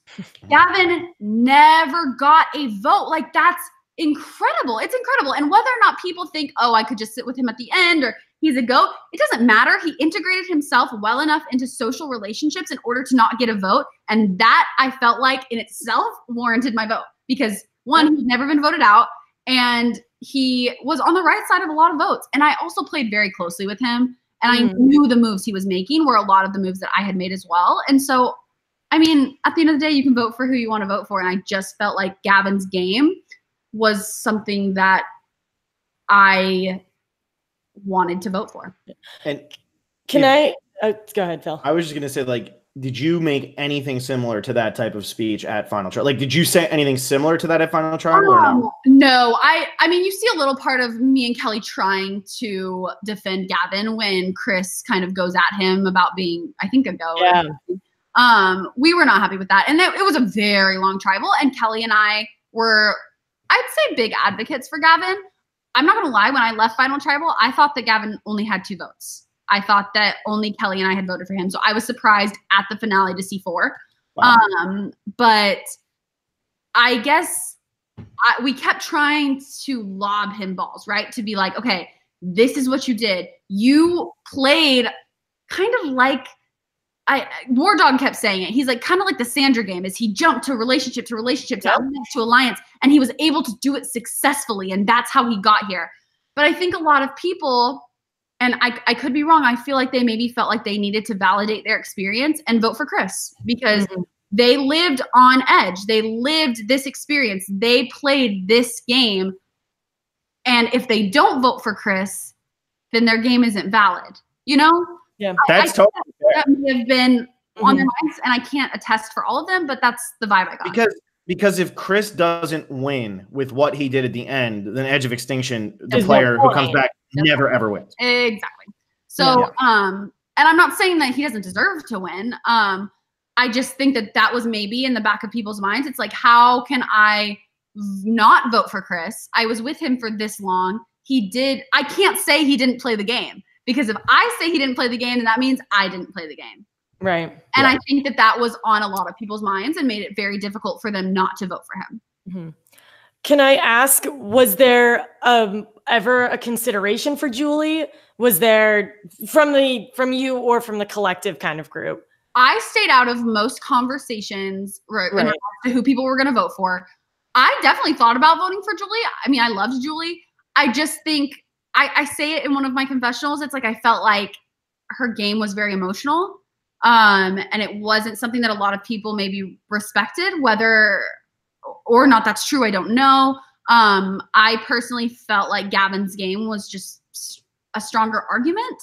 Um, mm-hmm. Although Julie did incredible at Final Tribal. Um, I, yeah, I, I, don't really know. I think that I was just I worked closer with Gavin. I knew his game. I knew what he had done, and I think that never getting any votes and sitting there at the end and being like, I never got any votes. I was friends with, I was in an alliance with almost every single one of you, and none of y'all wanted to vote me out, and I outlasted all of you is good enough for my vote. Yeah, yeah. that there, there you go. I think that makes sense. I think there you go. Yeah, that's Lauren, a good pitch. Lauren just pitched. I, I mean, I'm ready to vote for Gavin. You know, so. I have no say, but I'll vote for him. um, well, that gets you through to the end. Is there anything that we didn't talk about? You're longer than Kelley. You yeah. have an hour and 50. No. You have an hour and 15 minutes to get to Wardog if you want to keep going for an hour and 15. If you, if you have nothing really to do for the rest of your life. Nobody wants to hear me talk for another hour and 15. Um, no, I think we touched on everything. I'd say like we talked about my love for Kelley. Mm-hmm. We talked about my Lesu three, sweet Lesu three for life. Um, we talked about me passing out. Talked about people in the chat are saying eye rolls and mustard. Everyone oh, wants to about mustard. okay, we'll do mustard and then we will do eye rolls for all of you people trolling over there. Um, so okay, so mustard you just eye rolled, by the way. Anybody who's just listening, I just want everybody to know. Just for the record, we are on our twelfth tequila shot. Oh, everyone's dead. Everyone's yeah, it's just whatever, whatever. We're all having a great Thursday night. I do this. I'll take shots for every time I roll my eyes. Oh okay. I'm down. Oh my god! Could you imagine? Super down. My mom would. Let, mom, let's do it on like a Saturday night or something, and we'll all just we'll all just do it, and then we'll all just go out. honestly, okay, yes. Yeah, I'm in. down. Mom, I'm kidding. I won't do that. Okay. But don't know. also, mom, don't watch the next time Lauren's on. Um, turn it off. I know. Okay. When we log off. So with mustard, let's see. I remember that day so vividly. It was kind of the turning point for me in regards to I knew I couldn't really trust Wardog. Um, and trust is kind of hard. It's like I knew we would vote together, but there was this level of like, if my head's on the chopping block, he's not going to save me anymore. If that makes sense. So I walked down there. Oh my God, watching it back was so awkward. I walked down there and like they're obviously talking, right? And I like sit down, and this is like less than three. We've been together forever. Like I could walk in on any conversation ever. We're all talking together. And all of a sudden, it gets kind of quiet. And I'm like, Oh no. What's up, guys? And War says something. I don't even know what he said. Like I haven't watched that scene in a I while don't think he could say anything. because he didn't see me coming, and Kelley sees me coming, right? And Kelley's like, "Ha, blah, blah, blah." yeah. and, and War and War like, "Shut." like no one knows what to do, and I'm like, okay, well, like I'll let you guys get back to whatever you're doing, like making like making sure they know that I know y'all are talking about me. Okay, Your tone is unreal in that scene. You're just like, well, keep doing what you're doing. because I was pissed. I was like, "Are y'all kidding? We've been together forever, and you guys are gonna sit here and you guys are gonna talk about me, and then not come up with a good, like, hey, uh, this is what was happening. Like, at least lie. They couldn't even come up with a good lie. It was so awkward. And so, honestly, watching it back once I left, and he goes, "We need a code word. Oh, we need mustard." I was like, "Are you kidding?" you couldn't just maybe not talk about me like all the time. You need a code word. Oh my gosh, mustard. And then I started thinking about the amount of times that I heard Wardog talk. I was about to ask that. I'm like, yeah, I just remember him being like, yeah, I really like mustard. Like, were you talking about me? Oh my Oh, god. I was going to ask how many times he said mustard after that. God, I don't even know. But I remember watching that scene and being like, I sent it to both of them in our group chat and I said, y'all suck. Yeah. I was the first one who saw it. And this was like right after the scene where they're, you know, they got um the secret scene of them and, and Wendy's cane, I think. Mhm. something like So it comes right after it, and I go, villains part two, y'all suck. yeah, yeah, yeah there you go. Been a rough couple weeks for them. Yeah. So I, I Wardog hasn't talked to you since. that, that was better falling out. Who knows? But no, it was it was honestly hilarious because my tone is just so me. I'm like, okay, well, I guess I'll let you guys get back to whatever it is you're doing. I'm not an idiot. And I just walk off. I'm like, I don't need whatever. I'm gonna go talk to somebody else. So that was mustard. I don't think I really even thought about it that much afterwards because Kelley and I were so close. She was telling me everything that like or I thought she was telling me everything. You know, like she would come to me after she talked to Wardog and tell me what he was saying. So I don't I didn't feel as out of the loop. Like I think they really played up the War Dog Kelley relationship, which was much stronger than I even knew. Um, but Kelley and I also had a very, very strong relationship. So that's mustard for you. And the eye rolls, people, I swear to you, I thought I had a poker face before I went on. Like, I'm not kidding. I was like, okay, like I can deal. Like, I don't say things in social situations that I shouldn't. Every now and then I can't really control my face. And I bet you my best friends are watching right now thinking, you are a freaking liar. But I really did. I was like, okay, I can do it. Watching it back, I think the cameraman just zoomed in on my face. all the time. Anytime they could, I vividly remember being at camp one time and hearing because the cameramen have like um I guess some sort of microphone and earpiece. I hear zoom in on Lauren's face. Zoom in on oh, and I remember thinking, what am I doing with my face? Like I don't even know. But it's it's fine. it's such a natural reaction. And at the end of it, I'm just like, I can't even handle these people anymore. And certain things, like there's a, there's a secret scene where they come in and they're like, okay, you're gonna need finesse, and I'm like, well, that yeah. like that's a loss. You know, it's just like I I say things with my face versus my mouth, and I'm not sure if that's better or not. But, um, it does make quite a good amount of gifts, and I, I I'm gonna say this right now. Not once did I ever think about a gift while I was out there. Yeah. ever, ever, ever. It just, I remember on the premiere night, the first gift that Survivor tweets is my face. And I'm like, oh God. Oh, this is going to be a long season.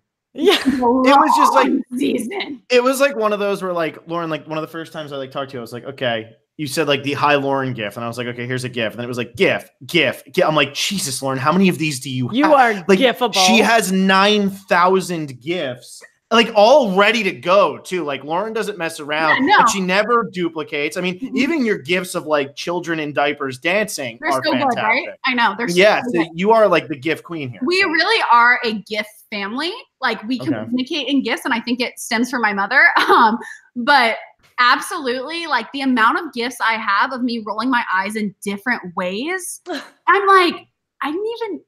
What is that? What was I doing? And they just, yeah, I do have them lined up. So if anybody ever texts me and like says something annoying, I'm just gonna send you my my gifts. And I feel like if I don't use them, who is? Exactly. I, I love that you have a gift folder of yourself. Like that's the dream. That is the dream. I have a I have like a little someone made a little website with our gifts and I'm like my my friends are like can you send me this? And I literally just send them the link which was probably not my best choice but yeah I have a folder. I'm like okay let's go to photos um animated Lauren gifts that one. Okay yes this one. It's so bad. It's so bad. But honestly Kelley's are just as bad okay Hers are hers are something. Kelley's face at the one tribal is the funniest thing I've ever seen in my entire life.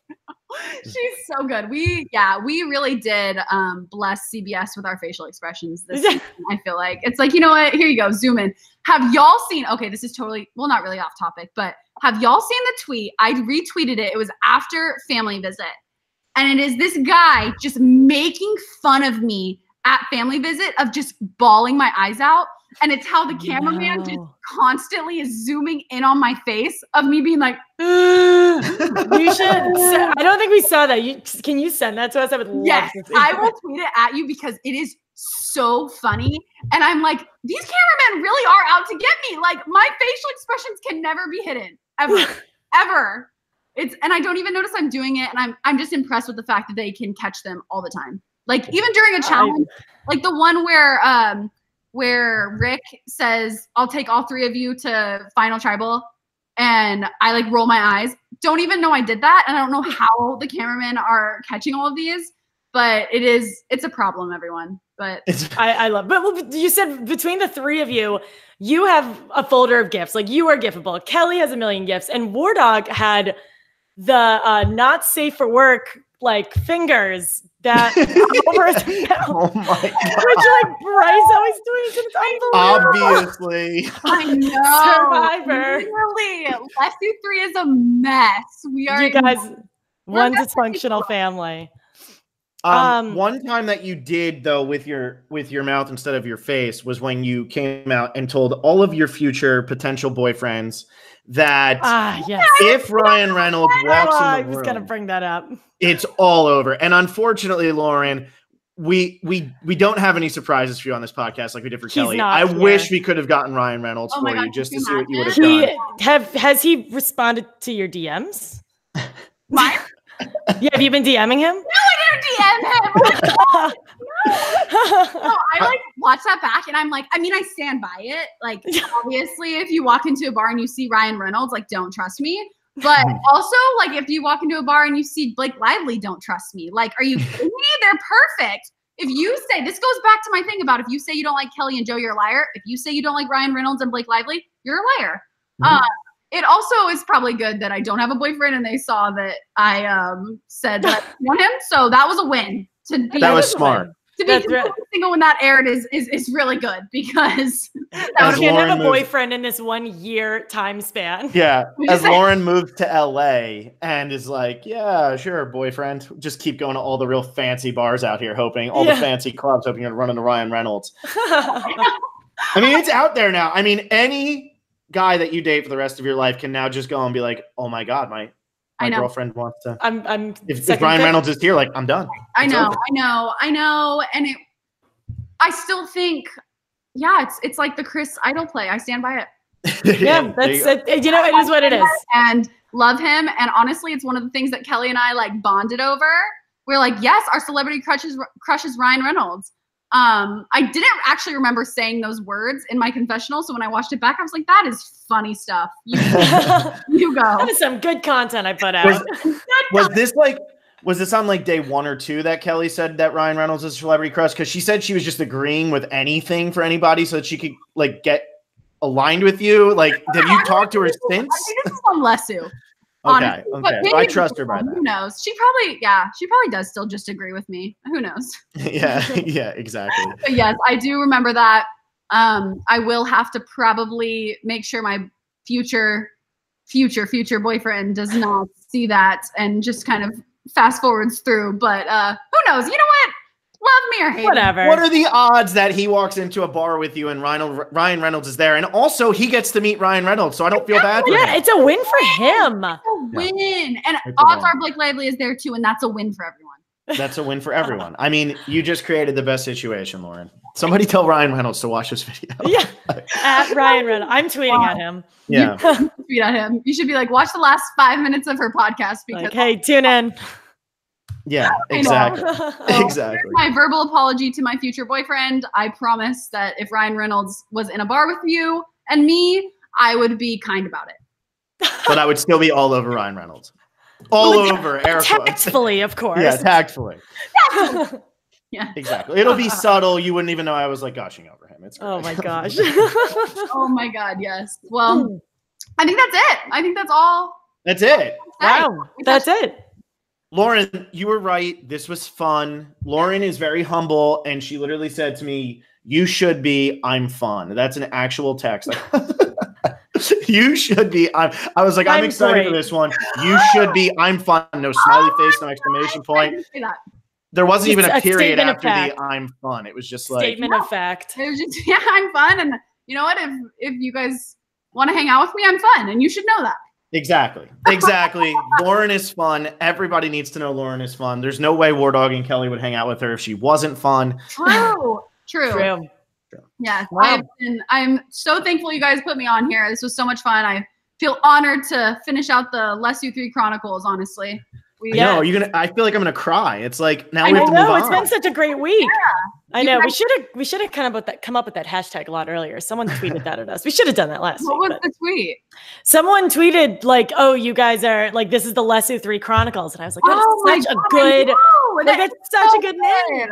That's okay. I mean, you guys will have to have us back on for s- Guess you'll have to come back on. podcast again. Yeah. Oh my gosh, that'd be a beautiful disaster. We're, we're ready for the Lesu Three predictions power rankings episode where Oh Wardog just takes over and we literally just mute him the entire time. Yeah, no We're one's ready. headphones. No one's headphones are ready. No People one. have been being like, you and Wardog and Kelley should have a podcast. And Kelley and I are like, man, we love you, Wardog. But it would be the War Dog podcast. Yeah. I mean, you see, like we've we've been doing this. I, I mean, I've been doing this for five years, Alex. I think you're up to like three and a half now, like almost there. But like, w- we didn't. I think I said five words when Wardog was here. I introduced him, and then I was just like, "All right, Wardog, do your thing, man." We'll You see. got Uh, see you on the other side. yeah, He's so fun to listen to, though. He's great. he's great. Yeah. He's great. He really The comments are great where everyone's like, I see Phil and Alexa trying to stifle yawns. And we are like, what? No, we're like ready. We're good. Also, it was getting late. Okay, it was getting late late. on my Like, I won't lie. I yawned once or twice during this. cool It's not because I'm bored. I'm just like You're it's, tired. it's hard to sit here for for It is, three and a half. hard I know my my Are we two hours yet? We're at two hours and thirty eight minutes. wait. Someone, Yeah, look at that face. Lauren can't believe that. Oh, man. I'm so sorry to everyone who's been listening to me for two and a half hours. You're about to, so you might have the fourth longest podcast. It would be Wardog, Troy Zan, or sorry, Wardog, Fair Play, Troyzan, you. You're going to end up with the fourth longest podcast, I mean, I did. longest female podcast. I did play a lot of days. You did did play a lot of days. You did do a lot of things too. Like Did a there's a lot. lot to talk about with I that. a lot of content. You did do a lot of things. Oh my god. Well, thank y'all so much for mm. having me. This was so much fun. I appreciate it and I love y'all's podcast. You guys are incredible. Thank, Thank you. you, Lauren. I'll make And- sure to be nicer to you in your next preseason. I can't be any nicer than saying you're going to win, even with those videos. If if that's incredible. I mean, you have to give me some credit, like for saying you're going to win to an audience after watching those videos. Like Honestly. that's some dedication. I mean, really the only one I watched was like my Baywatch slow motion running and it's like gung, gung, gung, gung, gung. How fun is it to film that? I remember Where filming. they like go go run in a flirtatious way. Yeah, I remember watching that or filming it and being like, "Oh God, my dad is not going to be happy." Oh, Lauren, we have to talk, and we're going to talk off podcast. But I have to ask you a question about a finale moment, uh, for, for sure. But but that's going to be off podcast for sure, um, because we're a PG, we're PG. But anyway, Alexa, why don't you tell the people what's coming up this weekend when we go away from the Lesu Three? We have a big weekend coming up. First of all, in case anybody wasn't aware, tomorrow is my and Kelley Wentworth's birthday. So Friday is a big day, but more importantly, What time is it in? Oh no. Okay. It- you have 21 Oh, minutes 20 until more minutes. Until Alexa's Oh, birthday. 20 more minutes until my birthday. Um, I'm 12 tequila shots deep, so I am ready to go. Um, but for those of you who think that we only talk to the Lesu crew, we are wrapping up the Lesu 3 Chronicles and we are swapping tribes to the Kama tribe this weekend. Saturday at 8 p.m. Eastern, 5 p.m. Pacific, we are talking to Eric Hafemann. Super excited to talk to him. Eric's Uh, he super excited. He tweeted out earlier, but uh, we have a time. Super excited to talk to him. And then Sunday night, we are talking to the Kama Challenge Beast, Aurora McCreary, 4 p.m. Pacific, 7 p.m. Eastern time. We have a really great weekend. We're super excited. And Lauren, we loved having you on. Thank you so, so Oh, much thank you for guys coming. for having me. What is that Um, thing? what- It's the same one. I just don't want Oh. anybody to forget. Oh yeah, we have we yeah. If we want to hold up our our love actually signs, but with that, keep those up. For those of you who aren't aware, Lauren was a D1 athlete. She's telling everybody now.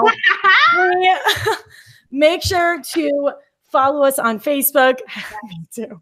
Follow us Just on, want everybody to know. follow us on Facebook. Like us on Twitter.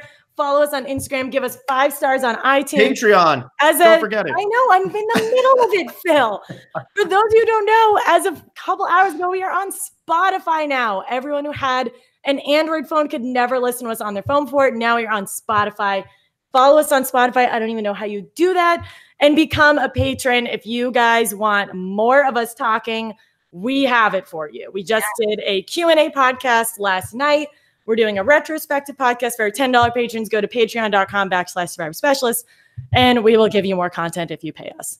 Lauren, love having you on. Everyone have a great night, and we will see you guys on Saturday.